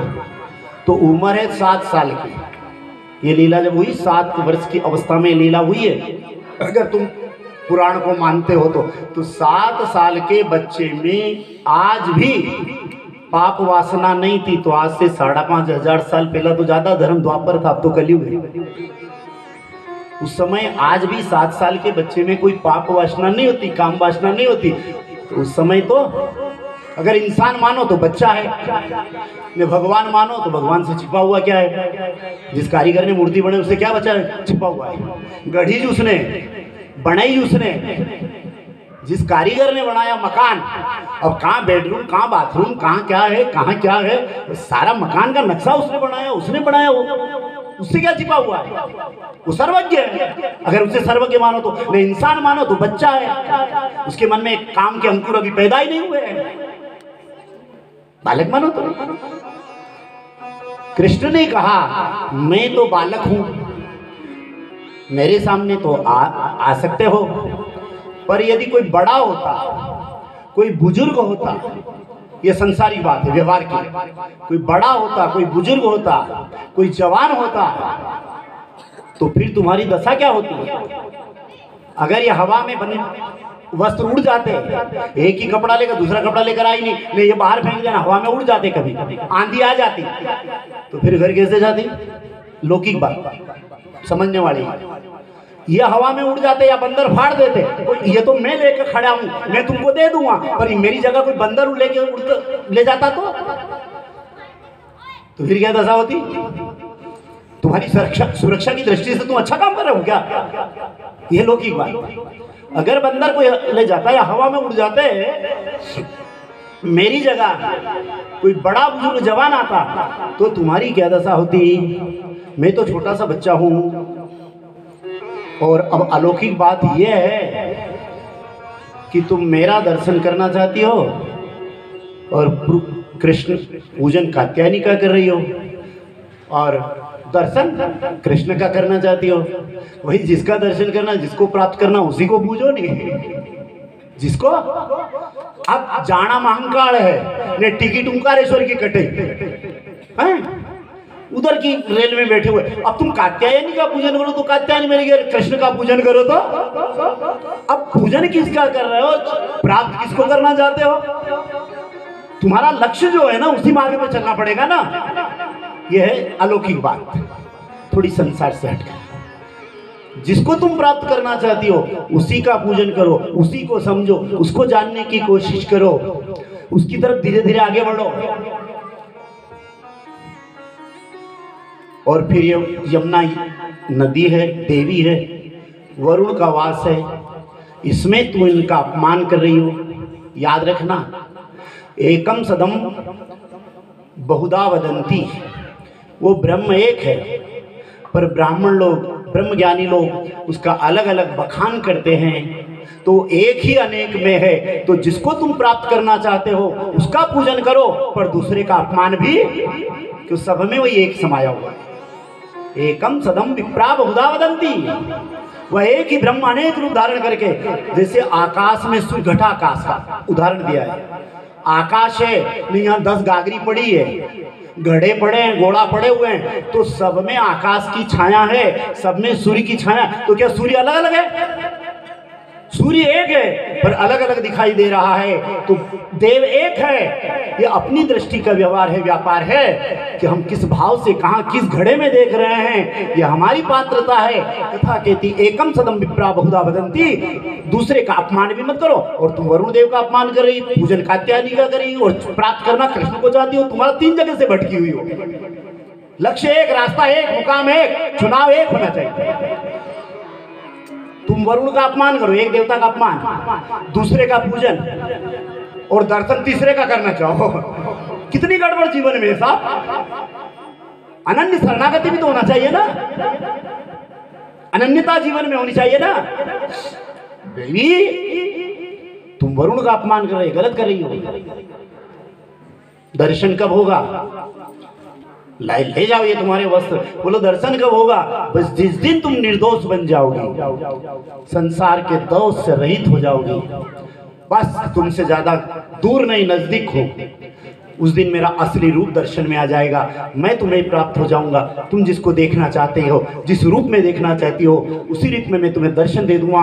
पर जब तक तुम्हारे मन में जो अवगुण भरे हैं, जब तक मन में बुराइयाँ भरी हुई है, जब तक तुम्हारे मन में ये अहम भरा हुआ है, जब तक तुम साधना के मार्ग में सही नहीं आगे बढ़ोगी, तब तक प्राप्त नहीं होगा। तो ये अपने अवगुण, अपने दोषों को निकालती जाओ, निर्दोष बनती जाओ, और जिस दिन निर्दोष बन जाओगी तो फिर ढूँढने की ज़रूरत नहीं, कहीं जाने की ज़रूरत नहीं, फिर वो स्वयं ढूंढता ढूंढता आएगा। महाराज, श्री श्री एक हज़ार आठ श्री हमारे यहाँ पधारो। हम फराने गुरु के चेले हैं, हम जगत गुरु के चेले हैं। तो कहते वो सबरी का आश्रम किधर है? हमें तो वहाँ जाना है। कहीं ढूँढने नहीं गई वो अपनी झोपड़ी में। झोपड़ी में? राम जी ढूंढते हुए आए हैं। कहीं ढूँढने नहीं गई। अपना लक्ष्य अगर सही बना जटायु गया नहीं, जटायु के पास राम जी आए। केवट गया नहीं अयोध्या में? अयोध्या से केवट के पास राम आए। क्योंकि लक्ष्य बनाया, जीवन निर्दोष बनाया, निर्मल बनाया, पवित्र बनाया, गंगा जैसा पावन बना लिया उसने। उस राम को आना पड़ा। उस कृष्ण को आना पड़ा। बना पवित्र। छोड़ दिया। बाप छोड़ दिया। माँ छोड़ दी। भाई छोड़ दिए। मेरे विवाह में नहीं, इतने हिंसक जानवर, इन जानवरों की हिंसा होगी। नहीं नहीं। मतंग ऋषि का आश्रय ले लिए। सारा ज़िंदगी। बस वही कहा, आ जाएँगे कहीं जाना, कहीं नहीं जाना, कहीं नहीं भटकना। बस तू जाए, वहाँ रहे। सही मुकाम पर रहे। अपने आप को पहचान कर ले अपने आप को जान ले। वो तो स्वयं तेरे दरवाजे आएगा। और बस वही राम राम राम राम बोलते करती रही राम को आना पड़ा। कभी आओगे मोरे बस इंतज़ार करती रही कभी आओगे मोरे अंगना मेरे राम चलते ही चलते सिया राम चलते ही चलते। कब आओ आओगे मोरे अंगना, कब आओ आओगे मोरे अंगना मेरे राम चलते ही चलते। सिया राम पुकारो चलते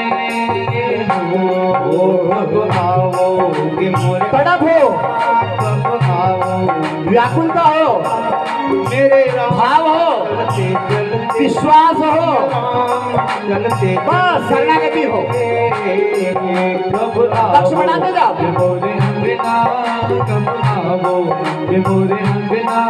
मेरे नाम चलते चलते सिया राम चलते चलते।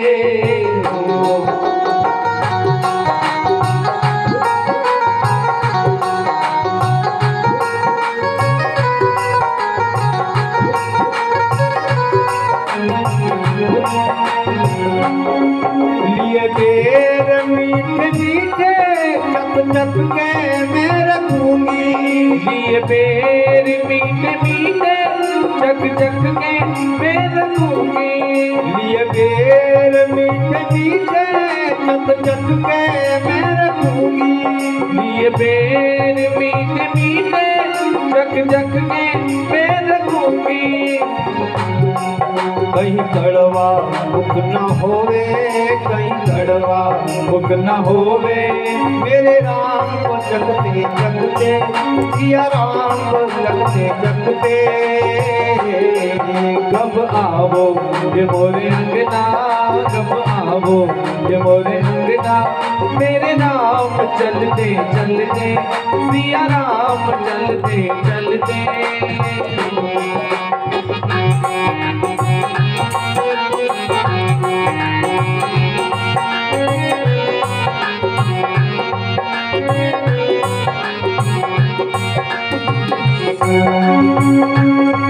बरसों से ये डगरिया बरसों से मैं बुहारू जंगल की ये डगरिया बरसों से मैं बुहारू जंगल की ये डगरिया बरसों से मैं बुहारू जंगल की ये डगरिया धीरे धीरे आ रहे हैं, धीरे धीरे आ रहे हैं। मेरे राम चलते चलते, सिया राम चलते चलते। कब आवो ये मोरे अंगना, कब आवो ये मोरे अंगना। मेरे राम चलते चलते, सिया राम, चलते चलते। आँखों में आँसू भर के सिमरी खड़ी है द्वारे। हाथों में आँसू भर के शिबरी खड़ी है द्वारे। आँखों में आँसू भर के सिमरी खड़ी है द्वारे। हाथों में आँसू भर नदी शिबरी खड़ी है धीरे धीरे आ रहे हैं, धीरे धीरे आ रहे हैं। मेरे राम चलते चलते किया राम चलते चलते। कब आवो ये मोरे अंगना कब आवो ये मोरे मेरे राम चलते चलते सिया राम चलते चलते कब आवो ये मोरे अंगना कब आवो ये मोरे अंगना मेरे राम चलते चलते सिया राम चलते चलते ओ मेरे राम चलते चलते सिया राम चलते चलते मेरे राम चलते चलते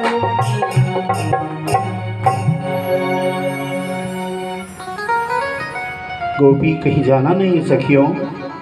जहाँ भी हो, जहाँ भी हो, जिस जगह भी हो, बस मन की अपवित्रता को मिटाती जाओ, मन पवित्र बनाती जाओ, भाव श्रद्धा को बढ़ाती जाओ। विश्वास दृढ़ होना चाहिए, श्रद्धा मज़बूत होनी चाहिए। बस अपने लक्ष्य में लगी रहो। एक दिन मैं दर्शन दूँगा। अब गोपियाँ कृष्ण प्रेम में डूबने लगी है। कभी कभी तो यमुना में पानी भरने जाती और श्याम रूप यमुना का देखती तो बेहोश हो जाती। कन्हैया, कभी कदम पर देखती। आह, ऐसा मालूम पड़ा जैसे कोई बंसी बजा रहा है। रुक जाती, वहीं देखती रहती। धीरे धीरे उस प्रेम में ऐसी डूबने लगी। धीरे धीरे कृष्ण प्रेम में। कभी तो कोई बेहोश हो जाती। है कृष्णा कृष्णा कृष्णा।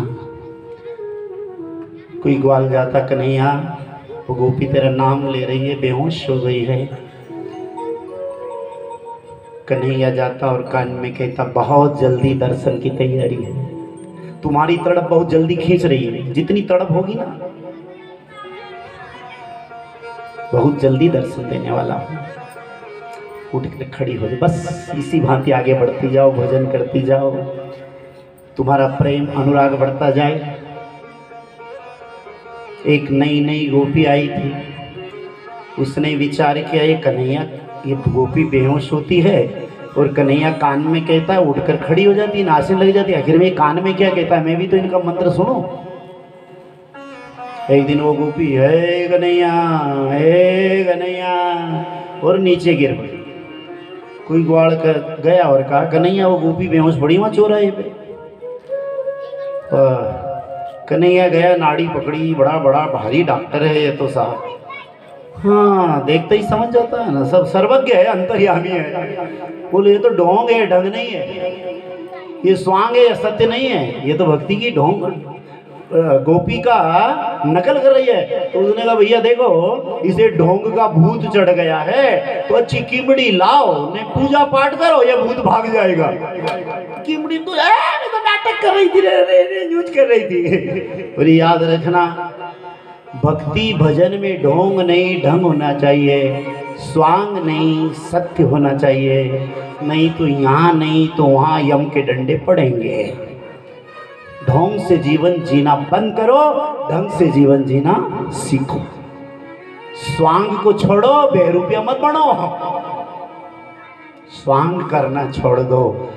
भगवत सत्य को पहचानने की कोशिश करो मेरे प्यारे। यहाँ जो है, कथा कहती है, और वो समय आ रहा है।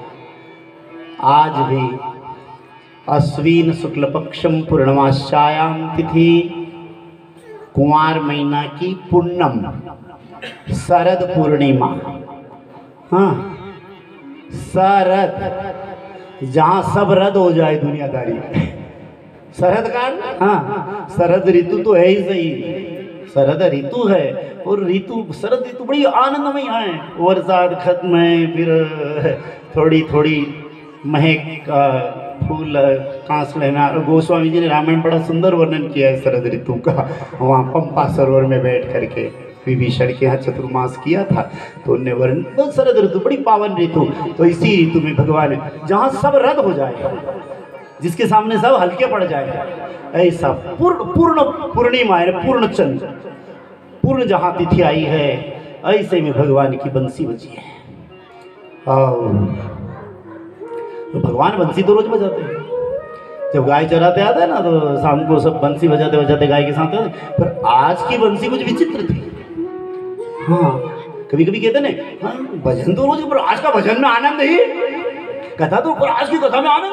हाँ आज दर्शन करने का दर्शन तो रोज पर आज के दर्शन का आनंद। कभी कभी ऐसा होता है। कभी कभी वो दिव्यता आती है। कभी कभी हमारा जो साधना है ना, वो चरम पर जब पहुँचता है तो एक रश आता है। कुछ अलग होता है। सबसे अलग होता है। बंसी रोज बजा रहे थे, गाय जा रहे थे, बंसी बजाते बजाता। पर आज की बंसी और एक विशेषता है कि रोज बंसी बजाते थे तो सब ब्रजवासी सुनते थे, पर आज की बंसी कोई अधिकारी सुन रहा है। सबने नहीं सुनी है। जिसने सुनी वो उठकर दौड़ पड़ा। आज कोई अधिकारी सुन रहा है? कोई पहुँचा हुआ पुरुष सुन रहा है? जो दुनिया के दंड से ऊपर उठ गया, वो सुन रहा है। हाँ।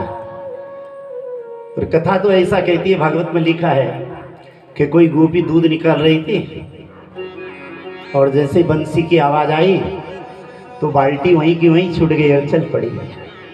दूध निकालना भूल गई। कोई भोजन बना रही थी चूल्हे के ऊपर। रोटी बना रही थी और बंसी की धुन कान पे आई तो हाथ रोटी कैसी कैसी रह गई और चल पड़ी। कोई बच्चे को दूध पिला रही थी और कान पर बांसुरी की आवाज़ आई। बच्चे को दूध बुलाना ही भूल गई, बस ऐसी कैसी। चल पड़ी। कोई अपने पति के चरण दबा रही थी और कान में आवाज़ आई चरण दबाना भूल गई। चल गई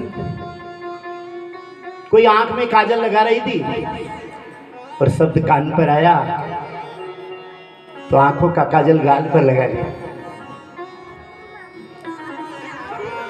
स्त्री पुरुष का मिलन हो तो गाल पे काल काजल लगा के जाएगा। आँखों का काजल गाल। काड़का है? जा रही है, सब देवी आ रही है तो साहब सब सब शक्ति आ रही है। कोई अपनी सासू से बात कर रही थी? बात कर रही थी जल्दी। कोई गहना पहन रही थी तो कमर का कंदोरा गले में पहन लिया। हाथ का बाजूबंद पैर में बाँध लिया। पैरों का पायजाब हाथ में बाँध लिया।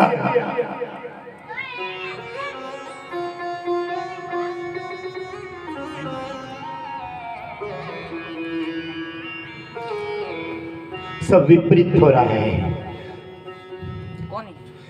जब परमात्मा की मिलन होती है फिर संसार बेभान होता है। संसार का भान किसको रहता है साहब? सब संसार की क्रिया उलट पुलट हो जाती है। शरीर का भान नहीं तो संसार का भान कौन करे? शरीर का ही भान भूल जाती है। तो साधक साधना करते करते ऊँची अवस्था पर पहुँचता है। भूल जाता मैं कौन हूँ, मैं क्या हूँ? अपने आप को भूल जाता है। इसे परमहंस गति कहते साधु की भाषा में परमहंस गति, और हमारी भाषा में पागल। पागलता की चरम अवस्था होती है, साहब पागलता की चरम अवस्था होती है। गोपियाँ जा रही है। थोड़ा सा विचार करो कि उनके घर वाले ने रोका नहीं गए पैर दबाते दबाते कहा जा रही है, रुक। बच्चे को दूध पिलाते पिलाते कहाँ जा रही है? बच्चे को छोड़ दिया? पर संत यूँ कहते हैं कि उनके शरीर नहीं गए थे। आज की कथा शरीर की नहीं है। ये तो शरीर को भी छोड़ चुकी उन प्राण आत्मा जो आत्माएँ चली गई थी, उनके जो प्राण चले गए थे, बैठी यहाँ है, पर मन वहाँ है। ईश्वर में लगा हुआ ईश्वर के चिंतन लगा हुआ है। कथा कहती है, यहाँ सुखदेव जी गोपी बनकर आए हैं। यहाँ नारद जी जो कथा कर रहे हैं ना सुखदेव जी परीक्षित को, ये गोपी बनकर आए। ब्रह्मवेद पुराण में लिखा है। नारद जी गोपी ब्रह्म पुराण में लिखा है। नारद जी गोपी बनकर आए। एक जाजली नाम के ऋषि थे, दस हज़ार साल तपस्या करी। भगवान ने कहा, मांगो क्या चाहिए कि बस ब्रज के राश में प्रवेश चाहिए?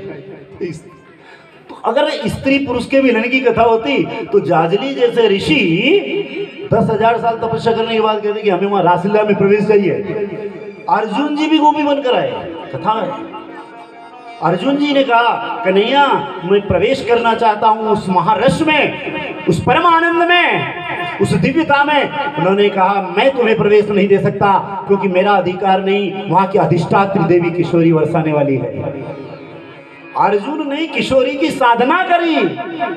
उनने कहा, फिर परमिशन दिया परमिट के लो, ये, आ जाना, ये साथ में लाना। अरे साहब, दुनिया संत महात्मा तो आए तो आए, पर यहाँ तो भगवान शंकर जी स्वयं गोपी बनकर आए आज कैलाश पर्वत के शिखर पर कृष्ण बड़े आनंद और शिव बड़े आनंद विभोर हो रहे, आँख में आँसू की धारा बह रही। पार्वती ने कहा, क्या बात है? कि आज धरती पर एक महाराष्ट्र हो रहा है।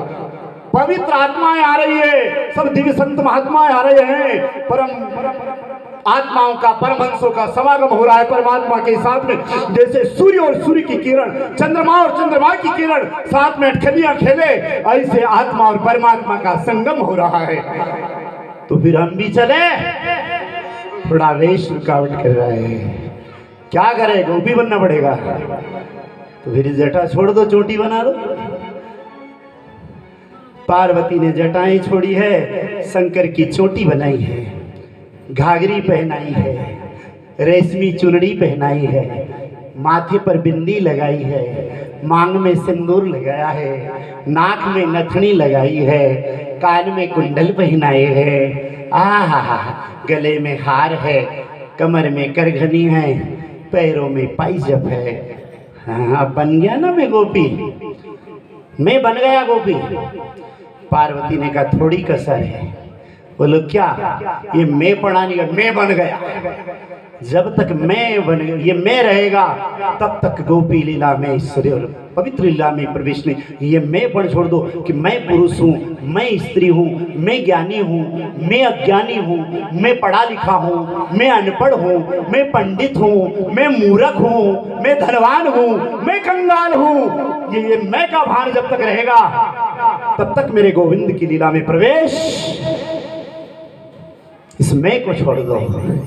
मैं कुछ हूँ नहीं, बस वो है। मैं तो चांदा की चांदनी हूँ, सूरज की रोशनी हूँ, मेरी कोई सत्ता नहीं है। जैसे चंद्रमा की किरण है, मैं उसकी एक किरण हूँ छोटी सी मैं सूरज की किरण हूँ। शंकर भगवान जी आ रहे हैं। क्या करूँ, अब आदत पड़ गई मैं कहने की। मौन हो जाओ। बहुत से साधु अपनी इंद्रियों को दमन करने के लिए मौन होते हैं। हम चार महीने नहीं बोलेंगे चतुर्मास, हम बारह महीना नहीं बोलेंगे, हम बारह साल मौन रहेंगे। बहुत से मुनि बाबा है ना, मौन साधना करते हैं कि मौन रहे। किसी से बोलेंगे, किसी से कुछ नहीं करेंगे, संसार का कोई व्यवहार नहीं करेंगे। बस हमारे गोविंद के में ही क्योंकि बोलेंगे तो संसार का व्यवहार हमें उलझाएगा तो कभी कभी मौन हो जाते हैं। भगवान शंकर से मौन हो जाओ, इस मे को मारना है तो मौन करके साधना करो। कभी कभी चुप, जिसको चुप साधन कहा गया है, संतों ने चुप साधन, चुप हो जाओ, मौन हो जाओ, निशब्द हो जाओ। और वहाँ महाराष्ट्र में शब्द भी रुक जाता है साहब, वहाँ शब्द रहता ही नहीं। नाम नाम रूप अखद कहानी गोस्वामी कहते हैं वहाँ न नाम है न रूप है अखद वहाँ कथना ही नहीं होती, न शब्द है, न संसार है, वहाँ तो बस सागर ही सागर है। वो स्वामी स्वामी है, मेरा गोविंद, मेरा कृष्ण ही कृष्ण है चित देखो तित श्याम में। जहाँ भी नज़र जाए, आज भी भगवान शंकर के अनेक मंदिर ना आजकल तो और ज़्यादा बन रहे हैं। अभी भोलेनाथ का ज़्यादा बोलबाला है। तो शंकर जी के अनेक मंदिर है, पर विश्व का पहला मंदिर है, सारी दुनिया का पहला मंदिर है कि दिन में भोलेनाथ शिवलिंग में और रात में साड़ी पहनते नखनी, सिंदूर, माँ, गोपी के रूप में। नौ बजे की सहन आरती में जाओ कभी वहाँ, वृंदावन में जाओ। बंसी भट्ट और रंगनाथ जी मंदिर के बीच में, गोपीनाथ मंदिर गोपी बंसी भट्ट की तरफ़ जाओगे सुदामा कुटू की तरफ़ जैसे ब्रह्मकुंड से आगे निकलो गोपीनाथ जी का मंदिर। दिन में शिव शिव स्वरूप है रात में गोपी स्वरूप गोपेश्वर। जब उस गोपेश्वर भगवान की जय हो। गली का नाम है गोपीनाथ। गोपीनाथ गली उस बाज़ार का नाम है गोपीनाथ बाज़ार। गोपीनाथ। है आज गोपेश्वर बनकर गोपी के बन करके आए भगवान शंकर जी। रासलीला भगवान कृष्ण का क्यों आए हो? स्वागतम महाभागो। किम कार्यम करवावहे? कृष्ण कहते हैं महाभागशाली, कृष्ण ये नहीं कहा कि भागशाली हाँ। रास में कोई हेरा गेरा नथु घेरा थोड़ी आएगा। भगवान कह रहे हैं यहाँ भागवत का वाणी है साहब, सुखदेव की वाणी है। स्वागतम महाभागो किम कार्यम करवाव है हे महाभागशाली, क्यों आई हो? क्या कार्य करना है? क्या ब्रज में कोई मुसीबत आई है? कृष्ण ने हमारे मनुष्य की कमज़ोरी पकड़ी परीक्षा चल रही है जाओ फिर परमेट अंदर जाने का प्रवेश। कोई कोई मंदिर में जाओ नहीं, वहाँ पहले जाँच होती है, फिर अंदर जाओ। पहले सब देखा जाता है मशीन से। तो यहाँ जाँच हो रही है। स्वागतम महाभागो। स्वागतम महाभागो। किम कार्यम करवावह हे भागशाली इस मंदिर में आई हो। आपका स्वागत है महाभागशाली हो। पर किम कार्य? किस कार्य के लिए आई हो? क्या ब्रज में कोई मुसीबत आई है? कोई राक्षस आ गया है? कोई परेशानी आई है? कोई आफत आई है? कोई तकलीफ़ आई है? कोई कष्ट आया है? कोई परेशानी आई? क्या हुआ? क्यों आई? हम मंदिर में कब जाते हैं? भगवान तो जाने नहीं रोज की बात है कि कोई कोई तकलीफ़ है भगवान जी, हमारी यो, हे भगवान जी, हमारी यो। हम क्यों जाए? हम बड़े व्यापारी लोग हैं साहब। भक्त का नोटंकी करते हम भगत है। भक्त में मांग तांग नहीं होती। भक्ति में स्वांग नहीं हो स्वार्थ नहीं होता। भक्ति में केवल सेवा होती है, साहब। और हम तो व्यापारी बनकर जाते हैं, भिखारी बनकर जाते हैं, कुछ मांगने जाते हैं। हम हम भिखारी लोग तो हम भगत हैं। हमारी क्या औकात है, साहब, के वहाँ तक पहुंचवा है और हमारे जैसे लोगों भगवान और गोपियों की लीला पर आक्षेप करते हैं, भिखारी बनते हैं, कंगले, ऐसे धनवान लोगों की बराबरी करोगे? जो सब कुछ छोड़ करके। हमारी ओर, हम तो जब भी जाए, कोई परेशानी, कोई आफत कोई मतलब कोई स्वार्थ। स्वार्थ हो तो भगवान के पास नहीं तो समझिए भगवान भी जाए भले। हाँ कोई मुसीबत हो। आषाढ़ महीने जितने गाँव गाँव ढोलक बाजे नहीं जितना सुंदर कांड हो जगह बारह महीना हो इतना। जय जय सियर जय जय सियर हम वादड़ा मुझे उचड़ा जाए। उज्जैनी कर लो।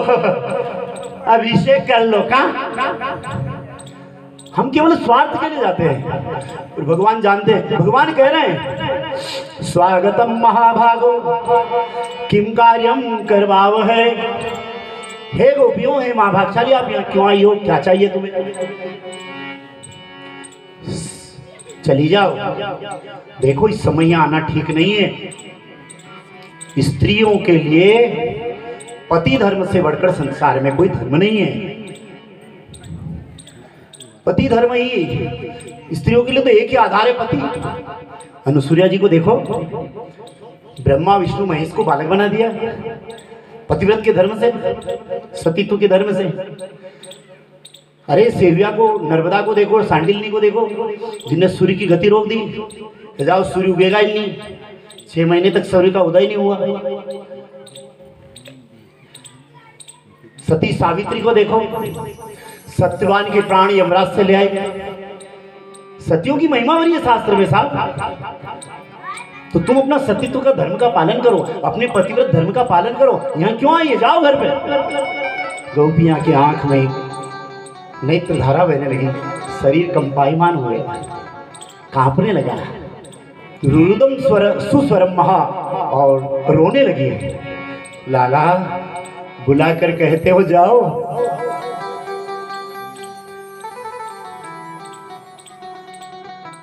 तुम्हारी इस बंसी की प्रेम भरी पुकार सुनकर आई है गोविंद। हमें कुछ नहीं चाहिए। न कोई ब्रज में विपता आई, न तकलीफ़ आई, न कष्ट आया, जहाँ कन्हैया हो क्या हो सकता है? जिनके साथ कृष्ण हो हर मुसीबत गोवर्धन को अपने ऊपर उठाता है। हमें क्या फ़िक्र करने की ज़रूरत है? कृष्णा, हम यहाँ लेने नहीं आई, कुछ मांगने नहीं आई। ये तेरी प्रेम की पुकार, ये बांसुरी की धुन यहाँ तक खींच लाई है। तेरे शब्द सुनने आई है, तेरे दर्शन करने आई है, गोविंद। तेरे दर्शन करने आई है। लाला, अरे बुलाते हो, कितने निष्ठुर हो। पहले बंसी बजाकर बुला भी लेते हो और फिर कहते जाओ, कन्हैया, ये मत समझो कि शास्त्र का ज्ञान तुमको शास्त्र का ज्ञान हमें भी, हम शास्त्र शास्त्र पढ़ते पढ़ते तो यहाँ तक आई है। बड़े बड़े ऋषि मुनि, ज्ञानी, महात्मा गोपी बनकर आए थे। दंडकारण्य में, अयोध्या में, राम जन्म में कितने ही ऋषियों ने यहाँ साधना करी थी, वो आज गोपी बनकर आए थे। तो उन्होंने कहा, ये शास्त्र पुराण की कथा हमें न सुनाओ। ये तो हम सुनते सुनते करते करते कथा करते करते यहाँ तक पहुँचे हैं। गोविंद, हम तो इन आँखों से आपके दर्शन करना चाहते हैं। यथार्थ देखना चाहते हैं। उस सत्य को, उस तत्व को जानना चाहते आप कौन फिर कहते हो कि पति धर्म से बढ़कर कुछ नहीं। तो शरीर का पति संसारी होता है। तो हम शरीर से संसार की पति सेवा कर रही है। हम संसार का कोई, वही दूध निकालना, वही गोबर फेंकना, वही झाड़ू लगाना, पति को भोजन देना, उसके पैर दबाना, कपड़े धोना, शरीर से संसार की सेवा कर रही है। पर मेरे गोविंद, शरीर संसार का काम कर रहा है। पर आत्मा तो परमात्मा की है, इसलिए हम अपने मन से तुम्हारी आराधना कर रही है। तो क्या इसमें सतीत्व को खतरा है? यदि सतीत और फिर यूँ भी देखा जाए तो सारे जगत के पति तो आप हो। हम गाते हैं ना, तुम हो एक अगोचर, सबके प्राणपति स्वामी। सबके प्राण गणपति किस विधा दयामय किस विध दयामय?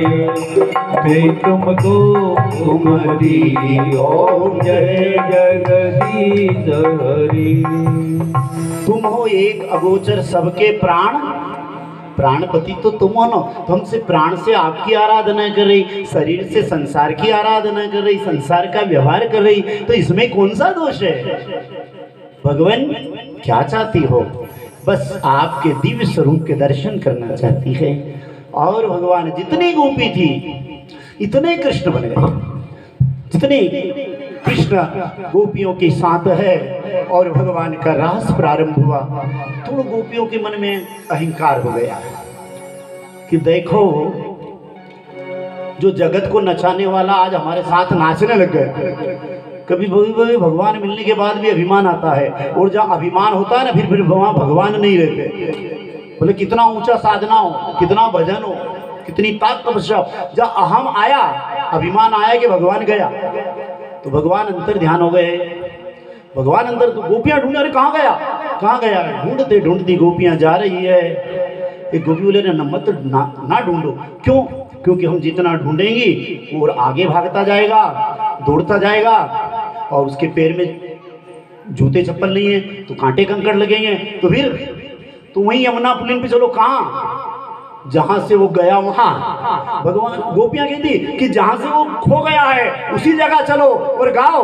सब भगवान कृष्ण के गीत को गाने लगी है और उसी समय भगवान कृष्ण वहाँ जो है प्रकट हुए हैं। वहाँ गोपियाँ गीत गा रही है, बहुत सुंदर। जयति ते धिकार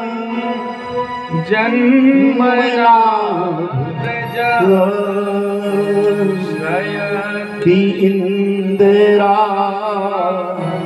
सस्वद गन्तनम् आ दीक्षुता वैदिता त्वां विचिन्तया ध्याम् सरदुदाशये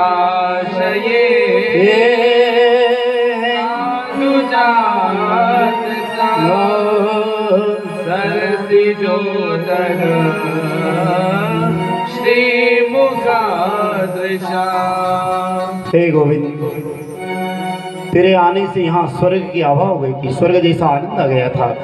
लक्ष्मी भी ईर्ष्या करने लगी थी। कहाँ चले गए हो हम आपकी योग में अपने प्राण निकल रहे हैं। मन ने विचार किया कि प्राण निकल रहे हैं तो तुम्हारे पर तुम तो चल भी रही हो। तो कहा, प्राण तो निकल रहे हैं। पर तव कथा अमृतम आपकी कथा रूपी अमृत जो है ना, हमें फिर हमारे प्राण का संचय कर रहा है, जीवन दे रहा है। और बहुत सुंदर गोपी गीत को प्रार्थना की, भगवान जी प्रकट हुए हैं वहाँ। किसी ने पीताम्बर पकड़ा किसी ने हाथ पकड़ लिया है और जो है हम्म, कहाँ चले गए थे? कहाँ चले भगवान बोले कहीं नहीं गए था बस तुम्हारे पास ही था। बोले दिखाई तो नहीं दे बोले मैं भी गोपी बन गया था। मैं भी गोपी बन गया था। ये पीताम्बर थोड़ा माथे पे डाल लिया था। मैं भी तुम्हारे साथ नाच रहा था यहाँ। गया थोड़ी था कहीं भी? कभी कभी भक्त भी भगवान को याद करते करते भगवान बन जाता है और भगवान भक्त को याद करते करते भक्त जैसे भमरा कीड़े को वो कीड़ा भमरे को याद करते करते भमरा बन जाता है। कथा कहती है। यहाँ भगवान ने कहा, मैं गोपी बन गया था, आपके बीच में ही था। मैं कहीं गया नहीं था। क्या चाहिए? महाराज चाहिए। भगवान कृष्ण उनके साथ नृत्य कर रहे हैं। आकाश में देवता लोग आने लगे हैं। सिद्ध गंधर्व किन्नर मुनि लोग आने लगे हैं और राष्ट्र प्रारंभ हुआ है। राधा नाचे, कृष्णा नाचे। राधा नाचे, कृष्णा नाचे।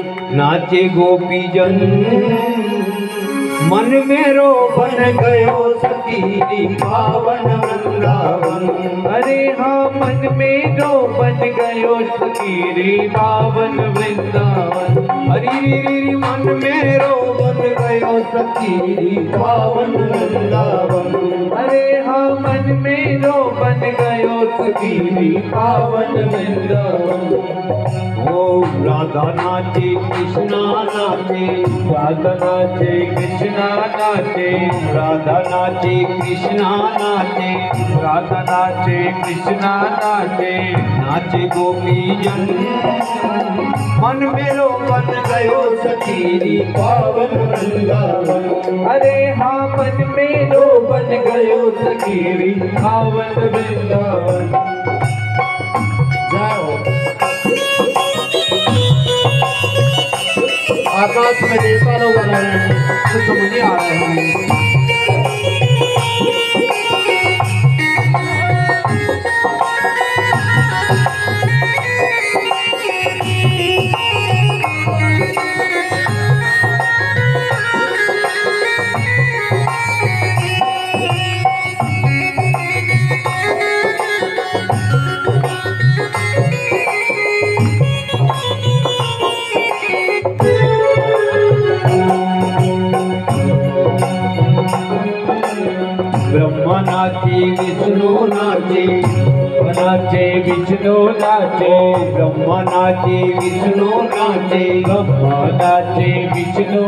नाचे नाचे देवगण मन मेरो बन गयो सखी पावन वृंदावन। अरे हाँ मन मेरो मन गयो सखी पावन वृंदावन। ओ राधा नाचे, कृष्णा नाचे, राधा नाचे, कृष्णा नाचे नाचे गोपी जन मन मेरो बन गयो सखी पावन वृंदावन। अरे हाँ मन मेरो बन गयो सखी पावन वृंदावन।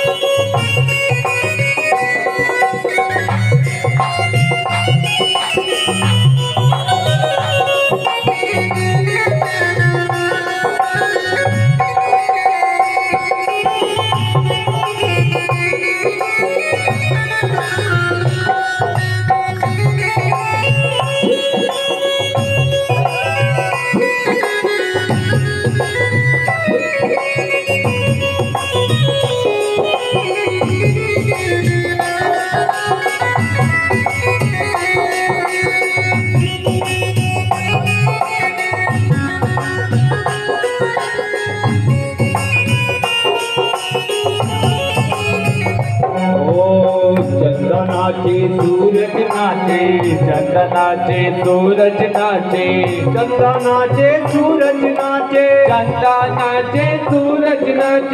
चंद्र नाचे सूरज नाचे चंद्र नाचे सूरज नाचे। चंद्र नाचे सूरज नाचे चंद्र नाचे सूरज नाचे। नाचे तारा गण। मन मेरो बन गयो सखीरी पावन वृंदावन। ओ मन मेरो बन गयो सखीरी पावन वृंदावन। हरी मन मेरो गयो सकीरी पावन वृंदावन। अरे हाँ मन मेरो बन गयो सकीरी पावन वृंदावन।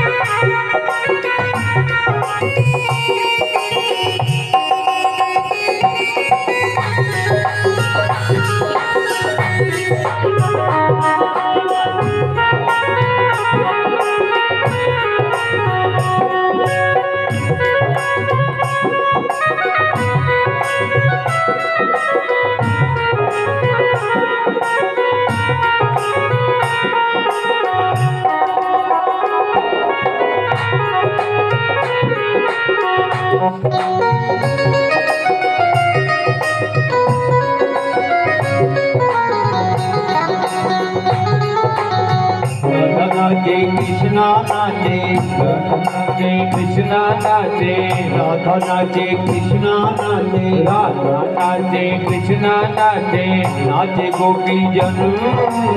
मन मेरो बन गया सखी पावन वृंदावन। अरे हाँ मन मेरो बन गयो सखी पावन वृंदावन।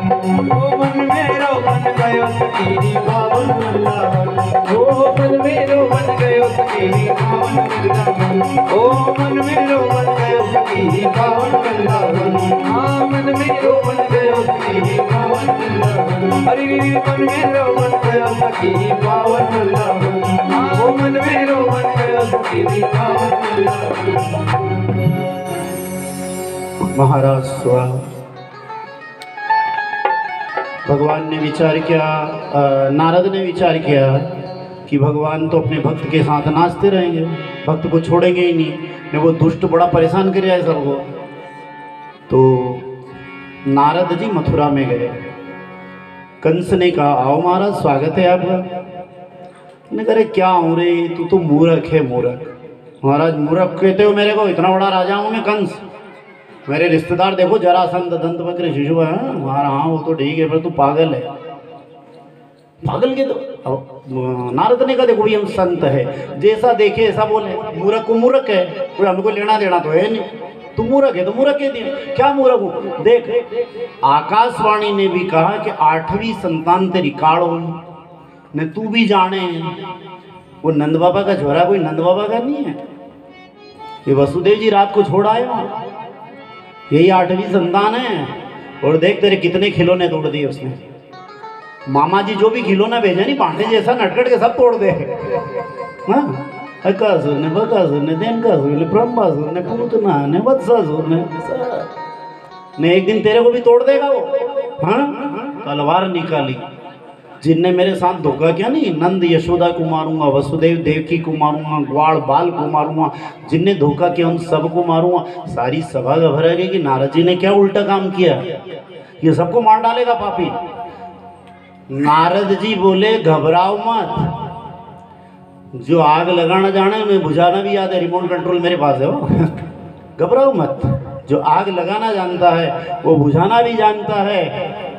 कंस तलवार अंदर। में हाँ सबको मारना नंद ये सुदन वसुदेव देव की, इन सबको मारना, इनने धोखा किया अपने साथ। पर तूने अगर वसुदेव देव की को मार दिया तो वो कृष्ण बलराम कहीं भाग जाएगा, छिप जाएगा, कहाँ ढूंढेगा? तो फिर दोनों भाई को यहाँ बुला ले, कोई बहाने से। फिर दोनों को माथा काट दे, बैठ साहब को हाँ महाराज, अकल तो बढ़िया। नारायण नारायण। नारद जी गए। कंस ने कहा, ये काम नारद जी ने अच्छा बताया। कि पहले दोनों भाई को यहाँ बुलाऊं, फिर पहले उनको मार कर फिर सबको मारूँगा। पर मेरे कहने से तो आने वाले हैं नहीं, क्योंकि मैं तो भला आदमी हूँ, पहले से ही बदनाम क्या करूँ? अगर अक्रूर जी जाए तो कृष्ण बलराम यहाँ है, क्योंकि अक्रूर जी सज्जन आदमी है, साधु आदमी है, और वसुदेव जी के भाई भी लगते हैं। अगर वो चले जाए तो कृष्ण बलराम यहाँ आ जाए अक्रूर को बुला दूध गया। क्रूर जी को बुला कर, महाराज, आज मुझे या हाँ क्रूर आज नारद जी आए थे। आज सभा में तू आया नहीं, सत्संग अब यहाँ आना जाना छोड़ दिया था अक्रूर जी ने। ऐसे दुष्टों की सभा में क्यों आना? नारद जी जैसे संत आए, सत्संग हुआ, कथा हुई तो अब मेरा हृदय परिवर्तन हो गया कथा सुनने के बाद, अब मैं नहीं ज्ञानी बन गया हूँ। अब ये बहुत उल्टा सीधा कर्म किया रे बहन बहन को जेल में डाला, भाणेज को मारा माँ बाप को जेल में डाल दिया, ने बहुत खोटे कर्म किए तो अब मैं चाहता हूँ कि अपने कर्म का प्रायश्चित, कोई दान धर्म करूँ, कोई अच्छा काम करूँ तो मेरे पापों का प्रायश्चित हो जाए।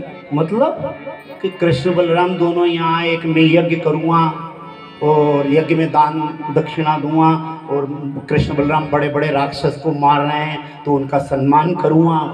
तो तुम जाओ मैं उनको यहाँ यज्ञ में बुला के लाओ मैं यज्ञ करना चाहता हूँ। अक्रूर जी ने कहा आज तो सूर्य पश्चिम में उदय हो रहा है। एकदम उल्टा विपरीत उल्टी दिशा में उगे। हम्म, ऐसा दुष्ट ऐसी सज्जन बात। गड़े तो नहीं उतरे गड़बड़ है कहीं अक्रूर जी समझ रहे पर बात नहीं मानो तो मेरे को मार डाले। मारीचने का मरना तो है ही सही। ये रावण मारे क्या करूँ? अब यहाँ कहे ये अक्रूर जी ने कहा ठीक है। अ, मैं जाऊँगा। मेरे सोने का रथ ले जाओ। दोनों को सम्मान पूर्वक लाना है। हाँ महाराज ठीक है। सुबह होते सोने का रथ दिया अक्रूर जी को और अक्रूर जी रथ लेकर चले। राक्षस बहुत हुए और पर वाकई में नारद जी ने सही कहा, मूर्ख, ऐसा कोई नहीं हुआ। नहीं तो मालूम है कि वहाँ फलानी जगह हमारी मौत है। तो वहाँ से दूर रहे। वहाँ जाना ही नहीं भाई, इससे हमारी मौत है तो वहाँ जाना ही नहीं, उससे अलग रहे। पर ये निमंत्रण भेजे सोने का भेजे कि मौत आ गो मालूम होता कि मेरी मौत है। भाई, मौत दूर जहाँ तक रहे अच्छे उसको दूर भगाओ। पर ये बुला रहा है कि आओ, निमंत्रण दे रही है, पत्रिका दे रही है। मौत को। ऐसा पागल कोई होगा क्या? नारद जी ने सही कहा पागल है। सोने का रथ लेकर अक्रूर जी जा रहे मन की गति से चलने वाले इतने तेज घोड़े हैं, पर सुबह से शाम हो गई। क्योंकि तो अक्रूर जी में चलाना, घोड़े के रथ के आगे बैठ गए और चलाए कौन? घोड़े अपने मर्ज़ी से चले। विचार करे कि 11 साल, चार महीना, पंद्रह दिन हो गए हैं, जन्म लिए हुए। सवा ग्यारह, साढ़े ग्यारह साल के होने आए हैं, पर उसके आज तक दर्शन नहीं किया है। आज इस बहाने कम से कम उसका दर्शन करने का सौभाग्य मिल। उसको देखूँगा मैं। मुझे लागी लगन हरि दर्शन की। मन में भाव है। घोड़े आके ही नहीं जाए, बस बैठे बैठे विचार कर। ओहो कैसे होंगे? सुना है पीताम्बर धारण करते हैं। मोर का पंख माथे पर लगाते हैं। घुंघरारे घुंघरारे बाल हैं। हाथ में मुरली धारण करते हैं। टेढ़ा खड़े रहते हैं। टेढ़ी टांग करके ग्वाल वाल से घिरे हुए होते हैं। गाय गोप सखाओं के साथ कल्पना होने लगी। कृष्ण की याद में डूबने लगे। रथ आगे बढ़ रहा है। आज देखूँगा उनको। आज ये आँख दर्शन करेगी। और यहाँ शाम का समय सुबह कृष्ण गाय को लेकर जाते। गाँव के लोग सब गाँव से बाहर विदा करने जाते। शाम पड़ी नहीं, घंटा, आधा घंटा जैसे सूर्य उदय, उससे पहले ही गाँव से बाहर खड़े हो जाते। आया नहीं अभी तक। कहीं दूर तो नहीं चला गया। जो ब्रज का प्राण था, एक क्षण भी उसके लिए विरसन नहीं कर पाते थे। गाँव के लोग घर से बाहर निकल जाते गोपियाँ अपने आँगन में आरती की थाली लेकर खड़ी रहती कृष्ण और गोपाल की हम आरती करेंगे। माखन लेकर खड़ी रहती ब्रज की आभा। कृष्ण आ रहे गाय लेकर के। आगे आगे गाय है, गौशाला की धूल उड़ रही है। कृष्ण बलराम ग्वाल वालों के साथ बंसी बजा के चले आ रहे हैं। अनुपम शोभा इसको गोधूली बेला कहते हैं। सूर्य अस्त हो, उससे आधा घंटा पहला और पंद्रह मिनट बाद इसको कहते गोधूली बेला कोई मुहूर्त नहीं हो तो सब मुहूर्त का मुहूर्त गोधूली जब गाय की धूल आती हो और गाय घर आती हो, बच्चे रंबाते हो और गाय अपने स्तर में दूध लेकर आ क्या दृश्य था साहब। पवित्र वेला है। बंसी को बजाते धीरे धीरे नगर के समीप आ रहे हैं। ब्रजवासी खड़े हैं इंतज़ार में पलक पावड़े करके। कृष्ण की हाँ धुड़ो आ रहा है। आ रहा है। स्वागत। रोज रोज का नियम था उनका हाँ नित्य नित्य नित्य सेवा थी ब्रजवासियों की। आज भी है थी नहीं आज भी है, है, है आज भी है। आज भी है। कृष्ण प्रेमियों की यही दशा है साहब। कृष्ण के मन में कृष्ण के उनके मन में तड़प है। एक व्याकुलता है। एक वीरा है। एक भक्ति की शीतलता भी है। और विरह की अग्नि भी हाँ हाँ हाँ दोनों का मिश्रण है दोनों का मिश्रण है। मिश्रण है। ब्रजवासी देख रहे हैं। कृष्ण गाय लेकर आ रहे हैं, हाथ में मर कृष्ण बोला ग्वाल बाल से जी पे जैसे पूर्णिमा का चाँद आया, शरद पूर्णिमा का चंद्रमा, आकाश में निर्मलता छाई हुई है। सब ग्वाल, बाल, ब्रजवासी तारे हैं और कन्हैया चंदा है। और हमारे भैया बलराम जी पास में चमकने वाला शुक्र तारा है। ए, चमक रहे रोशनी दे रहे हैं। बड़ा अद्भुत दृश्य गले में माला है वो मुक्तावली। मुक्ता के फूलों की गूंथी हुई। बिल्कुल सफ़ेद फूल होते हैं बारी बारीक। कभी महाराष्ट्रियन गजरारे गजरारे जो बनाते ना महाराष्ट्र में मुक्ता के बड़े उनसे गूंथी हुई आह, माला गले में पहनी हुई है। मोर पंख सिर पर है। कृष्ण बलराम आ रहे हैं। अक्रूर जी देख रहे हैं। और अक्रूर जी मन में विचार करे ना ना ना, मैं रथ पर बैठ कर जाऊँ और मेरे सरकार नंगे पैर जा रहे हैं यहाँ। हैं? कन्हैया नंगे पैर, पैरों में जूते भी नहीं। कन्हैया जब तक ब्रज में रहे, वृंदावन रहे, पैरों में जूते नहीं पहने, हाथ में कभी डंडा नहीं लिया। सिले हुए कपड़े नहीं पहने। माँ कहती, बेटा, ले कुर्ता पहन लेना। तो कन्हैया कहती, माँ, मेरे गरीब मित्र है ना ग्वाड़ वो खाली एक अंगोछा लपेट के आ जाते हैं। अगर मैं कुर्ता पहन कर जाऊँगा तो उनके मन में ये होगा कि बड़ा राजा का बेटा है। तो जैसे मेरे मित्र रहेंगे, ऐसा ही मैं रहूँगा। जैसे मेरे दोस्त रहेंगे ना सखा रहेंगे। मैं भी ऐसा हाथ में डंडा क्यों? डंडा।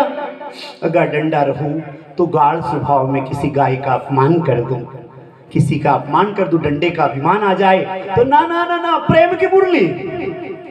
मुरली हाथ में रखते थे। और कोई गाय चली जाती ने बुलाना होता तो गायों के नाम रखे थे। गंगा, गोदावरी, गायत्री। अलकनंदा भागीरथी, क्षिप्रा, नर्मदा। तो बंसी में तान लेकर गाय को पुकारते थे। तो गाय तो दौड़ती होती आती, पर नदियों को भ्रम हो जाता तो नदियाँ गाय बनकर आ जाती थी। गाय बनकर नदियाँ स्वयं नदी आ जाती थी। बंसी की तान सुन करके। हाथ में बंसी, पैरों में कभी जूते नहीं पहने। यशोदा कहती, कन्हैया, जूते पहन ले। तो कहते माँ, मेरी गाय माँ नहीं पहने तो मैं कैसे पहनूं? अरे, माँ नहीं पहनी तो बेटा। उन्होंने कहा, बेटा, गाय तो पशु है। कहा, नहीं माँ, गाय पशु नहीं, गाय माँ है, क्योंकि तुम नौ महीने दूध पिलाती हो, पर गाय तो जीवन भर दूध पिलाती है और मरने के बाद भी काम आती है। जितना काम सेवा माँ नहीं करे, उससे ज़्यादा एहसान गाय के होते हैं। और जिसका एहसान वो वो एहसान फरोज आदमी है जो उनके एहसान न माने। माँ, गाय को माँ है। जैसी सेवा कृष्ण ने करी, ऐसी जगत में कोई नहीं कर पाएगा। कथा कहती है। नंगे चरण जा रहे हैं। जी ने कहा, नहीं नहीं ये ठीक नहीं है। वो नंगे चरण जाने मेरे रथ पर बैठ रथ से नीचे कूद पड़े जैसे दशा भरत जी की है। अयोध्या में तो कौशल्या ने समझा उजा कर बिठा दिया। श्रृंगवेरपुर पार हुए, जिसको आजकल सिरमौर कहते हैं। श्रृंगवेरपुर। वहाँ से भरत जी आगे सबको चलो हाँ तुम चलो, मैं देखभाल के आया हूँ। और नंगी चरण घोड़े की लगाम हाथ में है पैरों में जूते नहीं और चलने लगे। तो उस समय मंत्रियों ने कहा, सरकार, ऊपर बैठो ना। तो भरत जी ने यही बात कही थी कि जहाँ मेरे राम नंगे पैर जाते हो, मैं रथ पर बैठ कर जाऊँ। ये होना तो यही चाहिए कि मैं सिर के बल से जाऊँ। जहाँ पैर चल कर गए नुमा मैं घोड़े पर बैठ कर जाऊँ। आज यही दशा क्रूर की है कि मेरे सरकार नंगे चरण जिस भूमि पर चल रहे हैं और मैं रथ पर बैठ कर जाऊँ, नहीं, रथ से नीचे कूद गए। लोट लगाए और ब्रज की भूमि लोट लगाने के काबिल है। किसी की नज़र पड़ी, कन्हैया, देखो कोई पागल आ रहा है। रथ खाली वो नीचे लौटे। कन्हैयन का दादा मेरे पास जो आया, वो पागल ही आता है।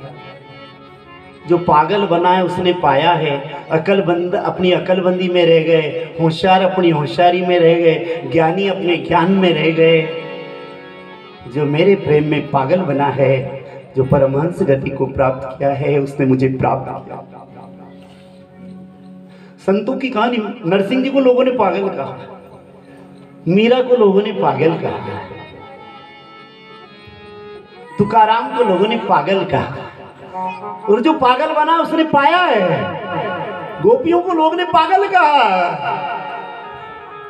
पागल कहा, राधा को पागल कहा। और जो पागल बना उसके प्रेम में, उसने उसको पाया है। लौट लगा रहे हैं। कृष्ण बलराम ने हाथ पकड़े। बाबा, कहाँ से आए हो? उनने कहा, मथुरा नगरी से आया हूँ। कंस का दूत हूँ और ये कारट लाया हूँ निमंत्रण पत्रिका पर ऊपर से बड़ी मीठी है, यज्ञ का नाम है। अंदर से बड़ी खट्टी है, मारना चाहता है। युद्ध नहीं, यज्ञ नहीं, युद्ध करना चाहता है। तुम्हें नष्ट करना चाहता है। कन्हैया ने कहा, बस बाबा, इससे आगे मत ये ऊपर वाला पेच ही पढ़ना मीठी मीठी यज्ञ में यज्ञ में बुलाया, ये अंदर वाला कागज़ बाँचना मत। क्योंकि अगर तुम कह दो कि ये युद्ध करेगा, मारेगा तो नंद बाबा यशोदा भेजेंगे नहीं और वो भेजेंगे नहीं तो उस पापी का विनाश होगा नहीं। हाथ पकड़ कर ले आए। नंद बाबा से मुलाकात हुई। बाबा, कंस महाराज यज्ञ कर रहे हैं। कृष्ण बलराम को बुलाया है। नंद बाबा तो बड़े बड़े थे, हमारे बेटे बड़े बड़े काम कर रहे हैं ना, पहलवान राक्षस को मार रहे हैं। तो राजा कंस इनको इनाम देगा, पुरस्कार देगा, सम्मान करेगा। ठीक है तो सुबह चलेंगे। तैयार रहना रे, सुबह मथुरा नगरी जाना है। कह दिया। पर ये बात तब यशोदा तक पहुँची। तो यशोदा दढ़ाम करके नीचे बैठ गई। नंद बाबा गए तो पैर पकड़ लिए और कहने लगी, महाराज, जाना है तो तुम भले ही जाओ। ग्वाल बाल को साथ ले जाओ, और मन नहीं माने तो बलराम जी को ले जाओ। पर मेरे कृष्णा को मेरे से दूर मत करो, क्योंकि यशोदा कन्हैया के बिना नहीं रहेगी। जो ब्रज का प्राण धन है, जिनका सर्वस्व कृष्ण है, ऐसे कृष्ण को हमसे मत छीनो। हम कृष्ण से अलग नहीं रह पाएँगे। नंद बाबा ने कहा अरे कोई ज़्यादा दिन की बात थोड़ी है, दो चार दिन में वापस आ जाएँगे। देखो, अब ये कोई ग्वाल नहीं रहेगा। ये तो मानता नहीं है तो गाय चरने देते हम ग्वाड़ के सरदार हैं, अध्यक्ष हैं। हमारे यहाँ गाड़ की कमी नहीं तो थोड़ी महाराज कन से जान पहचान हो जाएगी। फिर दो चार दिन में वापस आ जाएगा तो मैं माड़ा फेरूँगा भजन करूँ, बूढ़ा हो गया। अब राजा इसको बनूँगा, अध्यक्ष इसको बनूँगा, ताकि ये राजकाज ढंग से कर पाए। और दो चार दिन की बात है, वापस ले आऊँगा। ये सौदा ने कहा फिर भी मन मानता नहीं है महाराज। आज मन मचल रहा है। कृष्ण बलराम आए। मैया मैया, हम सुबह मथुरा नगरी जाएँगे यशोदा ने छाती से लगा लिया मत लाला, मुझे छोड़कर मत तुम्हारे बिना हम नहीं रह पाएँगे। कन्हैया ने कहा, माँ, में सत्य बात को मानता नहीं था, पर आज ऐसा लगता है कि दुनिया सत्य कहती है। यशोदा ने कहा, सत्य क्या कहती दुनिया? दुनिया के लोग कहते हैं कि तू नशो, नंद और यशोदा का लाला नहीं है, पर आज तक मैंने नहीं माना। गाँव वाले कहते तुझे मोल का लिए हैं, रोज चिढ़ाते थे, मुझे मैंने नहीं माना, पर आज ऐसा लगता है कि वाकई में मैं तुम्हारा लाला नहीं हूँ, क्योंकि हर मैया बाबा अपने बेटे को मेला देखने भेजे, मेहमानी में भेजे मामा जी के घर भेजे, पर मैं साढ़े ग्यारह साल का होना आया। आज तक तुमने कहीं नहीं भेजा, क्योंकि जन्म देती तो भेजो ना, तुमने जन्म थोड़ी दिया। तुझे तो गाय चराने से मतलब है? यशोदा ने छाती से लगा लिया और कहा, जाओ मेरे लाल, जहाँ भी रहो, सुखी रहो। पर ये वाणी के बाण चलाकर मत जाओ, ये वंग मत करो। रो पड़ी यशोदा कृष्णा ने आँसू पोछे अपने पीताम्बर से, माँ, मत रो। कुछ आवेश में कुछ कह दिया, क्षमा कर दो। भोजन करना है नहीं? मुझे भूख नहीं है, तू कर ले। रोज यशोदा सौगंध डालकर कृष्ण को भोजन कराती, पर आज कन्हैया यशोदा को सौगंध डाल रहा है। माँ, मेरी सौगंध खाओ। थोड़ा बहुत भोजन करवाया, हाथों से पानी पिलाया हाथ पकड़ के पलंग पे सुला दिया, छाती से लग गया। दोनों माँ बेटा अपने ख्याल में खो गए। एक दिन बारह बजे रात को कृष्ण की नींद खुली तो देखे तो पलंग पर यशोदा नहीं, आँगन में देखा तो कोई अंधेरे में रो रहा है। शिशक सिसकियाँ सुनाई दी। कन्हैया धीरे धीरे गया तो यशोदा बैठकर अकेली आँगन में रो रही। कृष्ण ने कहा, मैया, तेरा लाला सब कुछ देख सकता है, पर माँ के आँख के आँसू नहीं देख सकता। मत रो मेरी माँ, मत रो। आँसू पूछे। क्यों रो रही है मैया? कोई खास बात नहीं है रे लाला, पर कल तू हमें छोड़कर जाएगा नहीं, तू रोना रहा। मैं बहुत जल्दी आऊँगा माँ। आएगा? हाँ छाती से लगाया। अब यशोदा ने ये नहीं पूछा कि तू कब आएगा? और कन्हैया ने नहीं कहा कि मैं कब आऊँगा। आएगा? इतने में संतुष्ट हो गई माँ। हाथ पकड़ा, पलंग पर सुलाया, छाती से लग कर सो गया। मानो अंतरात्मा में प्रविष्ट कर गया कि माँ, ये बाहर वाला कन्हैया चला जाएगा, पर तेरी अंतरात्मा में बसा हुआ कृष्ण तुम्हें कभी छोड़ नहीं पाएगा। ब्रज तो मेरे प्राण है माँ। और कोई अपने प्राण को छोड़ सकता है क्या? तन कहीं भी रहे, मन यहाँ रहेगा। प्रातः काल यशोदा की नींद उगड़ी। नींद थी कहाँ जो उगड़े? साहब जागे।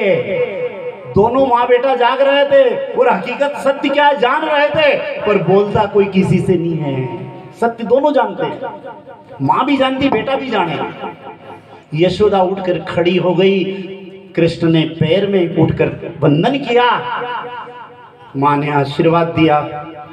लाला मथुरा नगरी जाना, स्नान कर लो। कृष्ण ने पीताम्बर फेंक दिया। बाजोट पर बैठ गए। माँ स्नान कराने लगी। आज कृष्ण शांत है।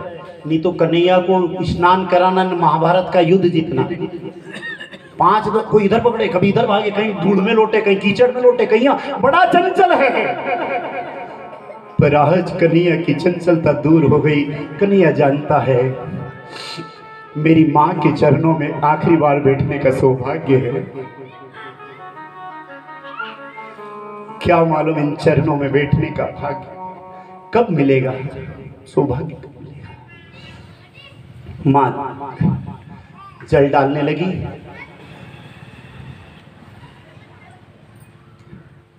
कन्हैया माँ के मुखमंडल की तरफ़ देख आँख ने पलक मारना छोड़ दी जैसे चकोर चंद्रमा को देखे।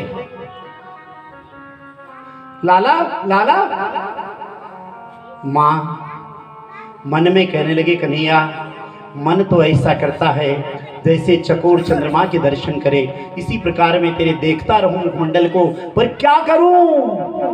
एक माँ है।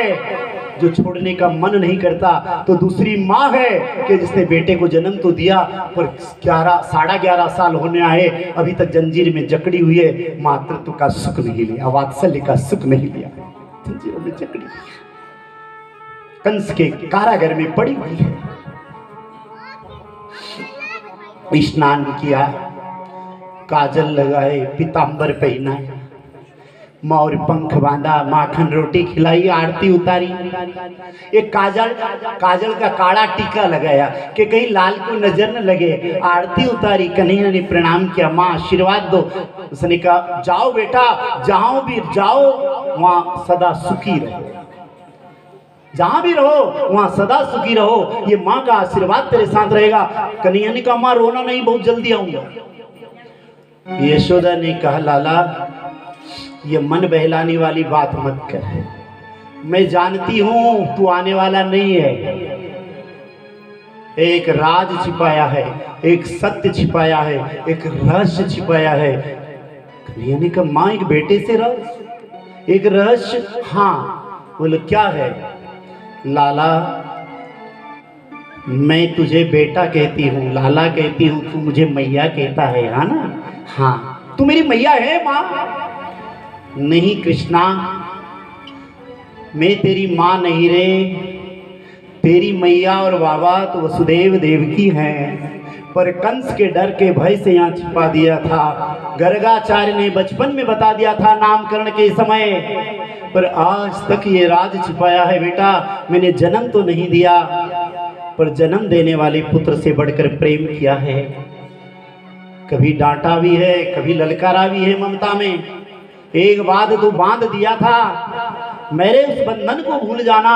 कन्हैया ने कहा, माँ, मैं जमाना भूल सकता हूँ, पर तेरे बंधन को कभी नहीं भूल पाऊँगा, क्योंकि जगत के बांधने वाले परमात्मा को एक माँ के प्रेम ने बाँध दिया, कैसे भूल जाऊँगा जो जगत में अपनी माया से जगत को बांधता है, वो परमात्मा भी भक्तों के अधीन बन जाता है, कैसे भूल जाऊँगा माँ माँ से विदा लेकर रथ पर सवार हुआ, वृक्ष रोने लगी, पशु पक्षी रोने लगी। गाय रोने लगी। मत जाओ, लाला। गोपियाँ आई। रथ के आगे सो गई। जाना है तो ये रथ हमारे ऊपर चढ़ा कर चले जाओ। जिंदे जी, आपके वीरा में हमें मत मारो। हमें मार कर चले जाओ। कन्हैया नई रथ से नीचे कूद पड़ा। हे गोपियों, मेरे मंगल प्रयाण के समय तुम्हारी आँख में ये आँसू शोभा नहीं देते हैं। हँसी खुशी विदा करो। आज तक जो तुम्हारे प्रेम के साथ नाचने वाला नटवर अब जगत को नचाने जा रहा है। आज तक तुम्हारे साथ नाचने वाला नेटवर्क अब जगत को नचाने जा रहा है। जिसलिए मेरा अवतार हुआ, वो अवतरण का समय आ गया। यदा यदा ही धर्मस्य ग्लानिर्भवति भारत अभ्युदानम अधर्मश्चम तदात्मानम जब जब धर्म को ग्लानी होती है, अधर्म बढ़ता है, तब तब मेरा सृजन होता है, धरती पर आता हूँ। धरती माँ पर पापी बहुत बढ़ गए हैं। उन पापियों का बोझ उतारना है। धरती माँ को हल्का लो, ये मेरा पिताम्बर और ये मेरी मुरली। जो प्राण से प्यारी थी, जब भी मुरली बजाओगी, जहाँ भी तुम्हारा कन्हैया रहेगा, वहाँ से दौड़ता हुआ चला आएगा। गोपियाँ कहती है, जाओ लाला, जाओ। हम तो तुम्हारी याद में तुम्हारे प्रेम में जो तुमने यहाँ लीलाएँ करी है उन लीलाओं को याद करके और हम अपना जीवन काट लेंगे पर कुछ इच्छा थी कि थोड़े दिन और यहाँ रहो जाओ। हँसी खुशी हम विदा करती है। न जी भर के देखा न कुछ बात की बड़ी आरज़ू थी। मुलाकात की। न जी भर के देगा अभी तो कुछ बात की बड़ी हर जूती मुलाकात की। ना जी भर के देखा, ना कुछ बात की। बड़ी यार झूठी मुलाकात की। ना भर के देखा, ना कुछ बात की। बड़ी यार झूठी। बड़ी आरज़ू थी मुलाकात की। बड़ी आरज़ू थी मुलाकात की बड़ी आरज़ू थी मुलाकात की। ना जी भर के देगा ना कुछ बात की। ना जी भर के देगा ना कुछ बात की। बड़ी आरज़ू थी मुलाकात की। बड़ी आरज़ू थी मुलाकात की।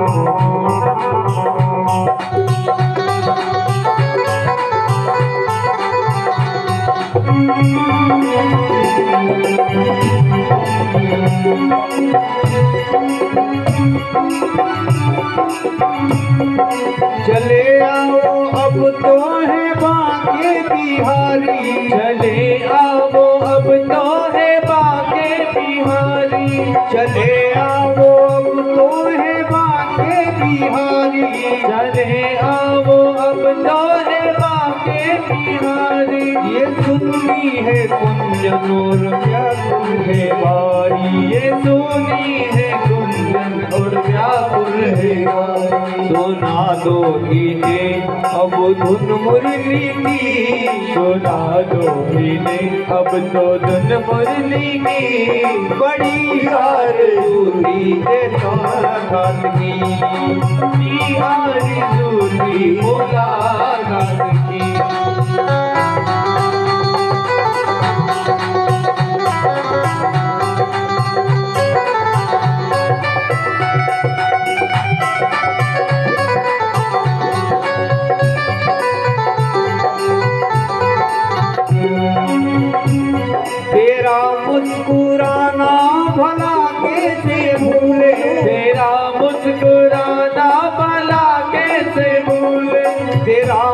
मुस्कुराना भला कैसे भूले? तेरा मुस्कुराना भला कैसे भूले?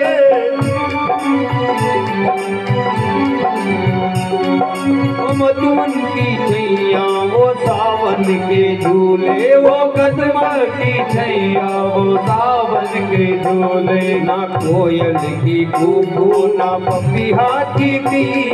ना कोयल की कूको, ना पपिहा की पी। बड़ी आरज़ू थी की। बड़ी आरज़ू थी मुलाकात की। भर के देखा, ना कुछ बात की। ना जी भर के देखा ना कुछ बात की। बड़ी आरज़ू थी मुलाकात बड़ी आरज़ू थी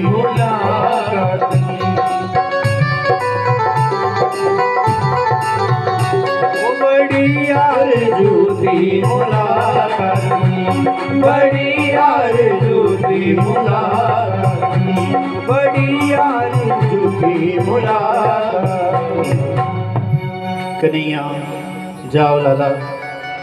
पर अभी तो क्या थोड़ी मुलाकात हुई, जान पहचान हुई, चलती है। हे मुरली और बांसुरी कोई राधा के पास गया, किशोरी के पास गया। वैसे राधा नाम भागवत में नहीं है, यहाँ लिखा है प्रधान गोपी का जा रहे हैं, मालूम है। रोकोगी नहीं, ना। आओगी नहीं? ना। क्यों? क्यों क्यों अगर रोकूँगी तो लोग कहेंगे, स्वार्थी है। अपने स्वार्थ के लिए कृष्ण को रोक लिया। अगर कहूँ कि जाओ, जगत का कल्याण करो तो लोग कहेंगे, निष्ठुर है। जो ऐसे कृष्ण को ब्रज के प्राण धन को छोड़ दिया। सामने आना नहीं है। अक्रूर जी भी रोवे ने अक्रूर जी के घोड़े भी रोवे। कन्हैया ने कहा अक्रूर जी ये यमुना नदी है, डुबकी लगाओ। और जैसे ही अक्रूर ने डुबकी लगाई तो बड़े बड़े देवता हाथ जोड़कर खड़े कृष्ण बलराम बैठे हुए हैं यमुना में।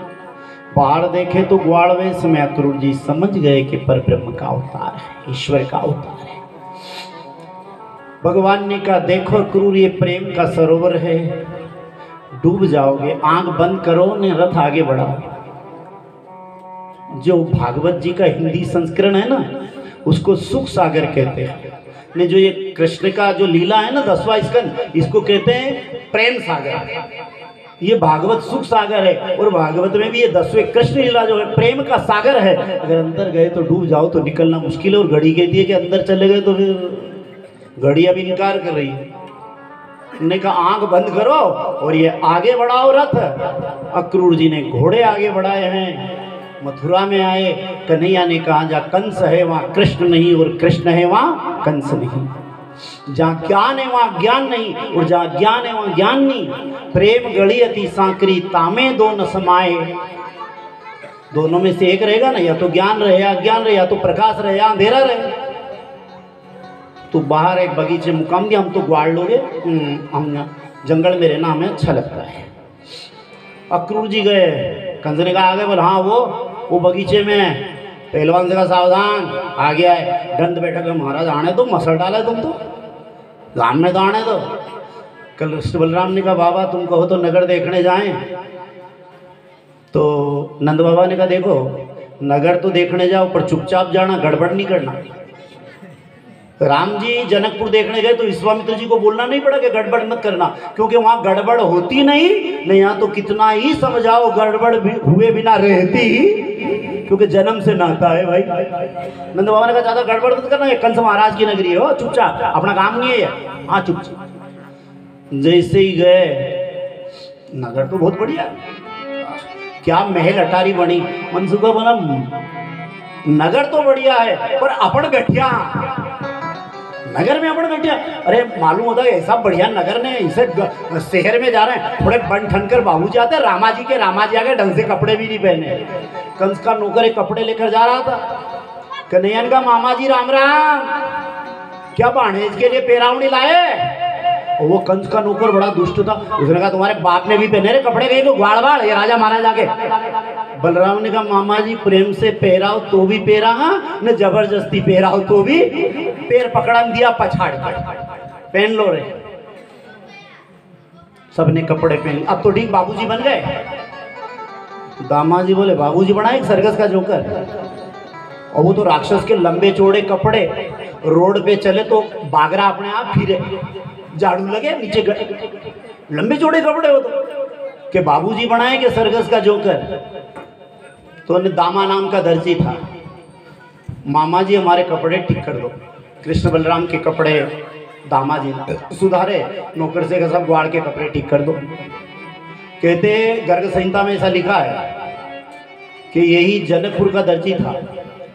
जब राम जी दूल्हा बने थे ना अब बारात भले अयोध्या से आई थी, पर लाड़ा का सूट कहाँ बना था? हाँ लाड़ा का सूट तो यहाँ जनकपुर में बना, इसी दर्जी ने बनाया था। इसने कहा था, एक बार कभी परमात्मा और भी सौभाग्य देना अगले जन्म में तो वही जनकपुर का दर्जी गर्ग संहिता में कथा है। थोड़ी समय की मर्यादा है। तो वही यहाँ दामा नाम का दर्जी बनकर आया और भगवान को वस्त्र पहना करके अपना जो इच्छा थी वो पूरी करी। फिर आगे चला। अब- बोलो, माड़ा हाँ सब कपड़े वपड़े हुए माड़ा सम्मान भी तो चाहिए तो सुदामा नाम का माड़ी था। सुदामा नाड़ी माड़ी ने भगवान को ये कुबेर का माड़ी था। इसकी इच्छा थी कि भगवान नारायण को माला पहना वैसी कथा है करके तो माला पहना दी। अब तो ठीक है। देखो, कपड़े, माला सब हो गए। कि वैष्णव का कपाड़ खाली तो काय का स्वागत? तिलक तो निकला ही नहीं। कपाड़ खाली है अपना। तो काय का वैष्णव? सम्मान काय का हुआ? तिलक निकलना चाहिए। कुब्जा नाम कंस की दासी। चंदन में बड़ी माहिर थी कंस, इसी का हाथ का चंदन लगाता था। बड़ी माहिर थी, बड़ी अच्छी बनाती थी कर सुगंधित चंदन, कृष्ण बलराम को देखा। कुब्जा ने उनको चंदन लगाया और चंदन का लेपन किया। तो भगवान ने त्रिकु, इसका एक नाम त्रि, वैसे कुब्जा कहते पर भागवत में इसका नाम है त्रिकुटी। यानी तीन जगह से टेढ़ी मेढ़ी थी। भगवान ने इसकी कुबर ठीक कर दी। भगवान हार्डवेद भी थे, हो। हाँ नस कोई चढ़ी हुई थी, सीधी कर दी। भगवान जी मेरे घर आओ, अभी तो मामा जी से मुलाकात करना बाद में आऊँगा यज्ञशाला में गए, धनुष तोड़ दिया, आधे पहरेदार ऊपर पहुँचा दिए। बलराम ने कहा, सबको ऊपर पहुँचा मामा जी को खबर कौन करेगा? आधे पहरेदार बचे, वो मामा जी के पास गए, कंस के पास गए। महाराज, धनुष तोड़ दिया ना, आधे पहरेदार भी हाँ मार दिए। क्या मुझे तो नहीं मारे? मुष्टि का महाराज दंड बैठक लगाने लगे। क्यों करते हो? और जैसे ही जो है, यहाँ कृष्ण बलराम आए, नंद बाबा ने पूछा, जी, सब क्यों हुआ? तो उन्होंने कहा, सब जो है यहाँ के लोगों ने पूछा, कहाँ से आए? क्या हम गोकुल से आए? तो सब लोगों ने दे दिया। उन्होंने कहा, हमारे यहाँ तो दूध दूध दही माखन आता है ना ग्वाड़ का राजा का छोरा है तो दे दिया होगा सम्मान भोले वाले दरवाजे पर गए तो दस हज़ार हाथ वाला कोलिया पिढ़ाते ने कहा, मामा जी, अलग कर लो। नशे में चूर महावत बहुत नाम सुना है। अगर अपनी माँ का दूध पिया इससे आज के बोलूँ तो जीभ खींच दूँगा यशोदा माँ का दूध पिया है। गाय माता का दूध पिया है। बहुत माखन खाया है। अरे, काल भी आए तो लड़ सकते हैं। ये तो बात कर रहे थे धर्म में तो देख ले किसमें कितना बल है। भगवान ने सुंड पकड़ी, पछाड़ा। बलराम जी ने पूछ पकड़ी, दादा। बलराम, कृष्ण ने कहा, छोड़ दे, दादा। दोनों हाथी के दांत पकड़े, ने दो चार चक्कर लगाए जो झटका दिया तो हाथी ऊपर गया, ना हाथ दांत में रह गए, दांत हाथ में रह गए, और हाथी ऊपर गया तो अभी तक नीचे नहीं कहाँ गया? पता भी नहीं चला। एक हाथी का दांत, बलराम, लो, क्यों? कि अभी तक प्रेम की मुरली बजाई जैसा देश, ऐसा वेश। अब यहाँ बातों के लातों के भूत बातों से नहीं माने यहाँ डंडा चाहिए। अभी तक मुरली से काम चला मुरली से काम नहीं अब तो डंडा डंडा लाया नहीं तो लाकड़ी एक हाथी का दांत बलराम जी का तुम ले लो एक में। जैसे ग्वाल लाकड़ी खांदे पे रखे ना अंदर प्रवेश। सब उठकर खड़े हो रहे दस हज़ार हाथी का ता, ताकत वाला कोलिया पीड़ मार डाला। सब उठकर कंस अपने सिंहासन से नीचे गुजरा मुस्टिक ने कहा महाराज बैठी जाओ कमज़ोरी मालूम पड़े। नानो सब छोरा इन्होंने सिंहासन थी नहीं जाओ। कंस के के दाजी ना रे, नीचे थी करंट लागे है। और सामने मौत खड़ी हुई बेभाई गई सामने मौत खड़ी हो। जुनेगा बैठो बैठो, अपनी कमज़ोरी मालूम पड़े। उठो मत। मुस्टिक चारुन ने कहा, हमारे महाराज युद्ध के बड़े शौकीन हैं। अगर हमसे युद्ध कर। उन्होंने कहा, तुम बड़े बड़े पहलवान ने काम छोटे छोटे बच्चे, ये तो अधर्म का युद्ध होगा। उन्होंने कहा, क्या धर्म, क्या अधर्म, क्या नीति क्या नीति? अगर तुम में हिम्मत हो तो हमारे साथ युद्ध करो। उन्होंने भगवान ने कहा, ठीक है, आ जाओ, देख लेते हैं। मुष्टिक से कृष्ण चारुन से बलराम भिड़ गए। नंद बाबा घबराने लगे सुदन कहता मत जाओ, मत ले जाओ, बाकी में तो दुष्ट राजा है। और ये मेरे बड़े बड़े पहलवान छोटे छोटे बच्चे को मार देंगे। हे भगवान भोलेनाथ हमारे बच्चों की रक्षा करना हे, शंकर जी, आज सोमवार अभिषेक करूँगा। मेरे बालक ये नमः संभवाय च, शिवाय च, शिवतराय च, पार्वती प्राण वल्लभाय हे भगवान भोलेनाथ। भोलेनाथ को मना और आज भी नंदेश्वर महादेव का मंदिर है मथुरा में। वहाँ के लोगों की मान्यता है कि भाई इनका नाम नंदेश्वर क्यों? कि जब कंस मर गया नहीं तो नंद बाबा ने कहा तो मैंने मनोती मानी थी नहीं नंद बाबा, वो तो उनने सवा मन लड्डू चढ़ाना अभिषेक किया। तो नंदेश्वर जहाँ नंद बाबा ने पूजा करी, आज भी वहाँ नंदेश्वर महादेव विराजमान है, मथुरा में। फिर बोले, नहीं नहीं, शंकर जी तो ध्यान में बैठ जाए, क्या भरोसा उनका? आँख बंद करें समाधि में। कुश्ती के आचार्य कौन है? अखाड़ा में किसका फ़ोटो लगे? अतुलित तो बल धामा हाँ पवन सुत नामा। हो, हनुमान जी महाराज, आइए, मेरे बेटे को बचाइए। मनोजवम मारुतुल्य वेगम जितेन्द्रियम बुद्धिम मताम वरिष्ठम। वातात्मजं वानरयूथ मुख्यम श्री राम दूतम अतुलित बल के भंडार है। जय जय जय हनुमान गुसाई। जय जय जय हनुमान गुसाई। जय जय जय हनुमान गुसाई जय जय जय हनुमान गुसाई। कृपा करम देव की नाई। कृपा करो गुरुदेव की नाई। संकट ते हनुमान छुड़ावे। संकट ते हनुमान छुड़ावे। संकट ते हनुमान छुड़ावे। संकट ते हनुमान छुड़ावे। मन क्रम वचन ज्ञान सुलावे।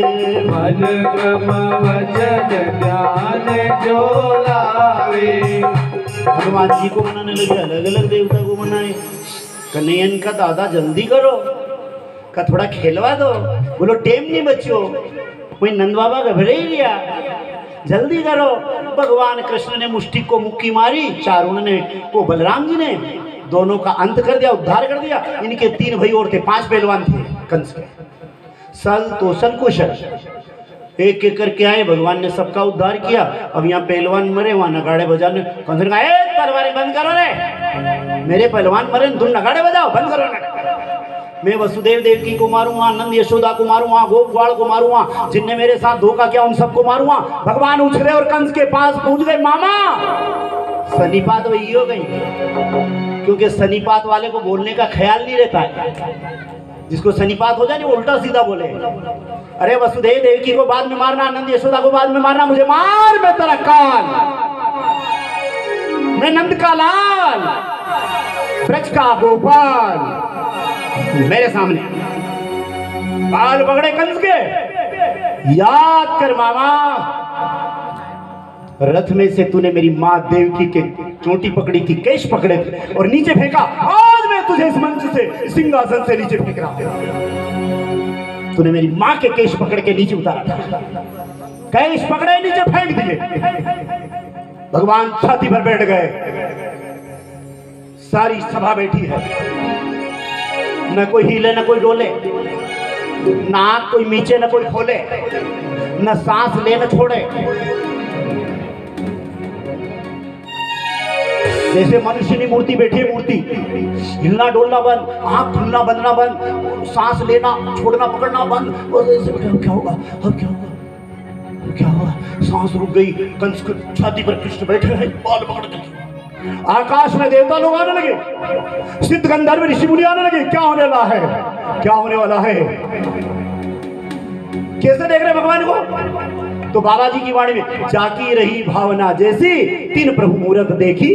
कैसे भगवान? कि जिसकी जैसी भावना ऐसा भगवान है। मामा, मैं हूँ तेरा काल।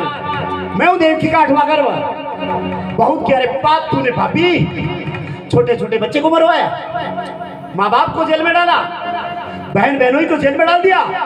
और याद रख जन्म मृत्यु कारणम, जिसका जन्म है उसकी मौत निश्चित है। आज तेरा पाप का घड़ा भर गया, आज तुझे कोई बचाने वाला नहीं। भगवान ने ज़ोर से मुक्का मारा, प्राण निकल गया। देवता आपस में वृष्टि करने लगी, गंधर्व किन्नर गाने बजाने लगे, अप्सराएँ नृत्य करने लगी जय जयकार होने लगी।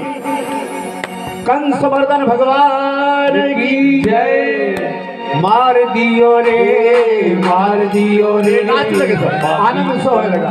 को मार दियो रे। मार दियो रे मार दियो रे बाबा कंस को मार दियो ओ मार रे, मार दियो रे, बाबा कंस को मार दियो रे।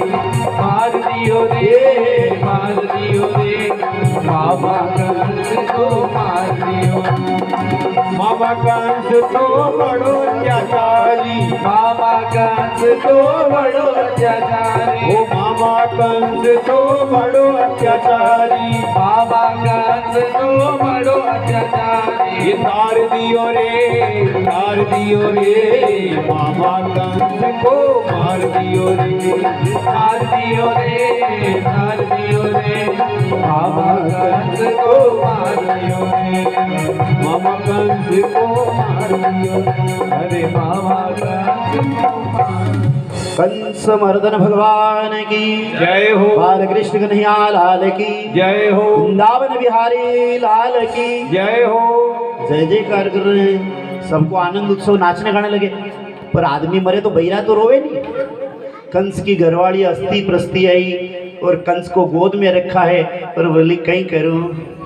बड़ा बड़ा देवता भी हाथ जोड़कर खड़े रहते थे। आज धूल चाटी कहीं वैयो कंस की भारिया रोने लगी। कंसस्य भार्याम अस्तिश्च प्रस्तिह रोने लगी, कन्हैयन का मामी रोई रही कन्हैया गए मामी, मैं मामा को मारने नहीं आया, मिलने आया था। पर बातें पड़ी और मुक्को लागी, क्यों मरी गयो अरे मामा रे।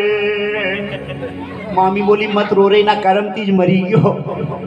कर कर, खोटे काम अपने आप ही मर जाए। खोटे कर्म करके मर गया, उसका अंतिम संस्कार किया। सबने कहा, कृष्ण को राजा बनाओ, कन्हैया ने कन्हैया। नहीं अगर मैं राजा बनूँगा तो लोग कहेंगे कि राज के लोभ से, धन के लोभ से मामा को मार दिया।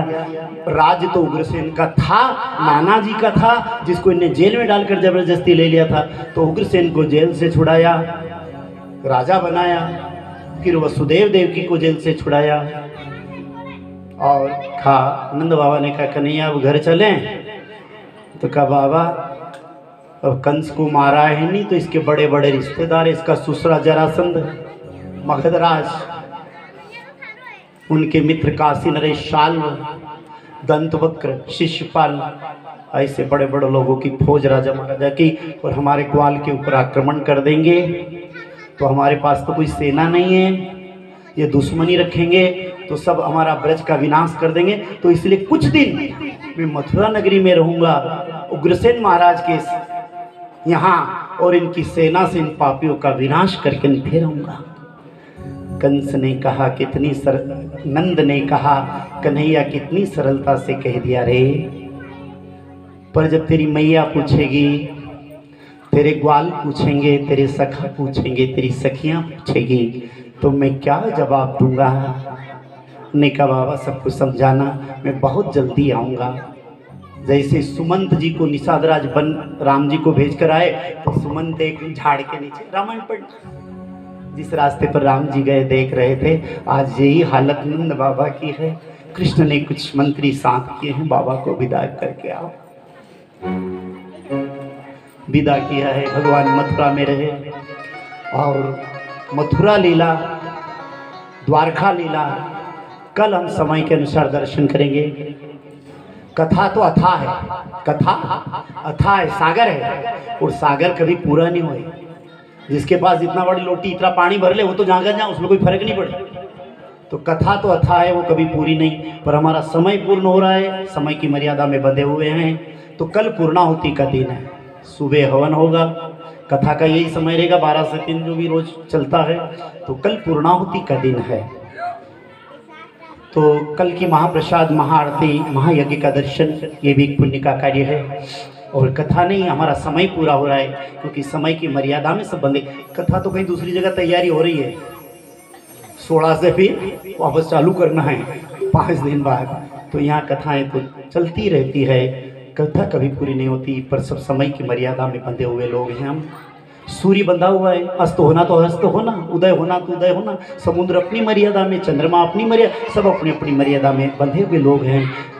मर्यादा पुरुषोत्तम उस परमात्मा की, जो उसने तो इस सात दिन का जो कल जो पूर्णाहुति का दिन है, बड़ा आनंद का विषय। हम आज इसी के साथ कथा को विराम, आज का सीताराम, दो मिनट भगवत नाम, क्योंकि सारी कथा का सार का है नाम नाम नाम।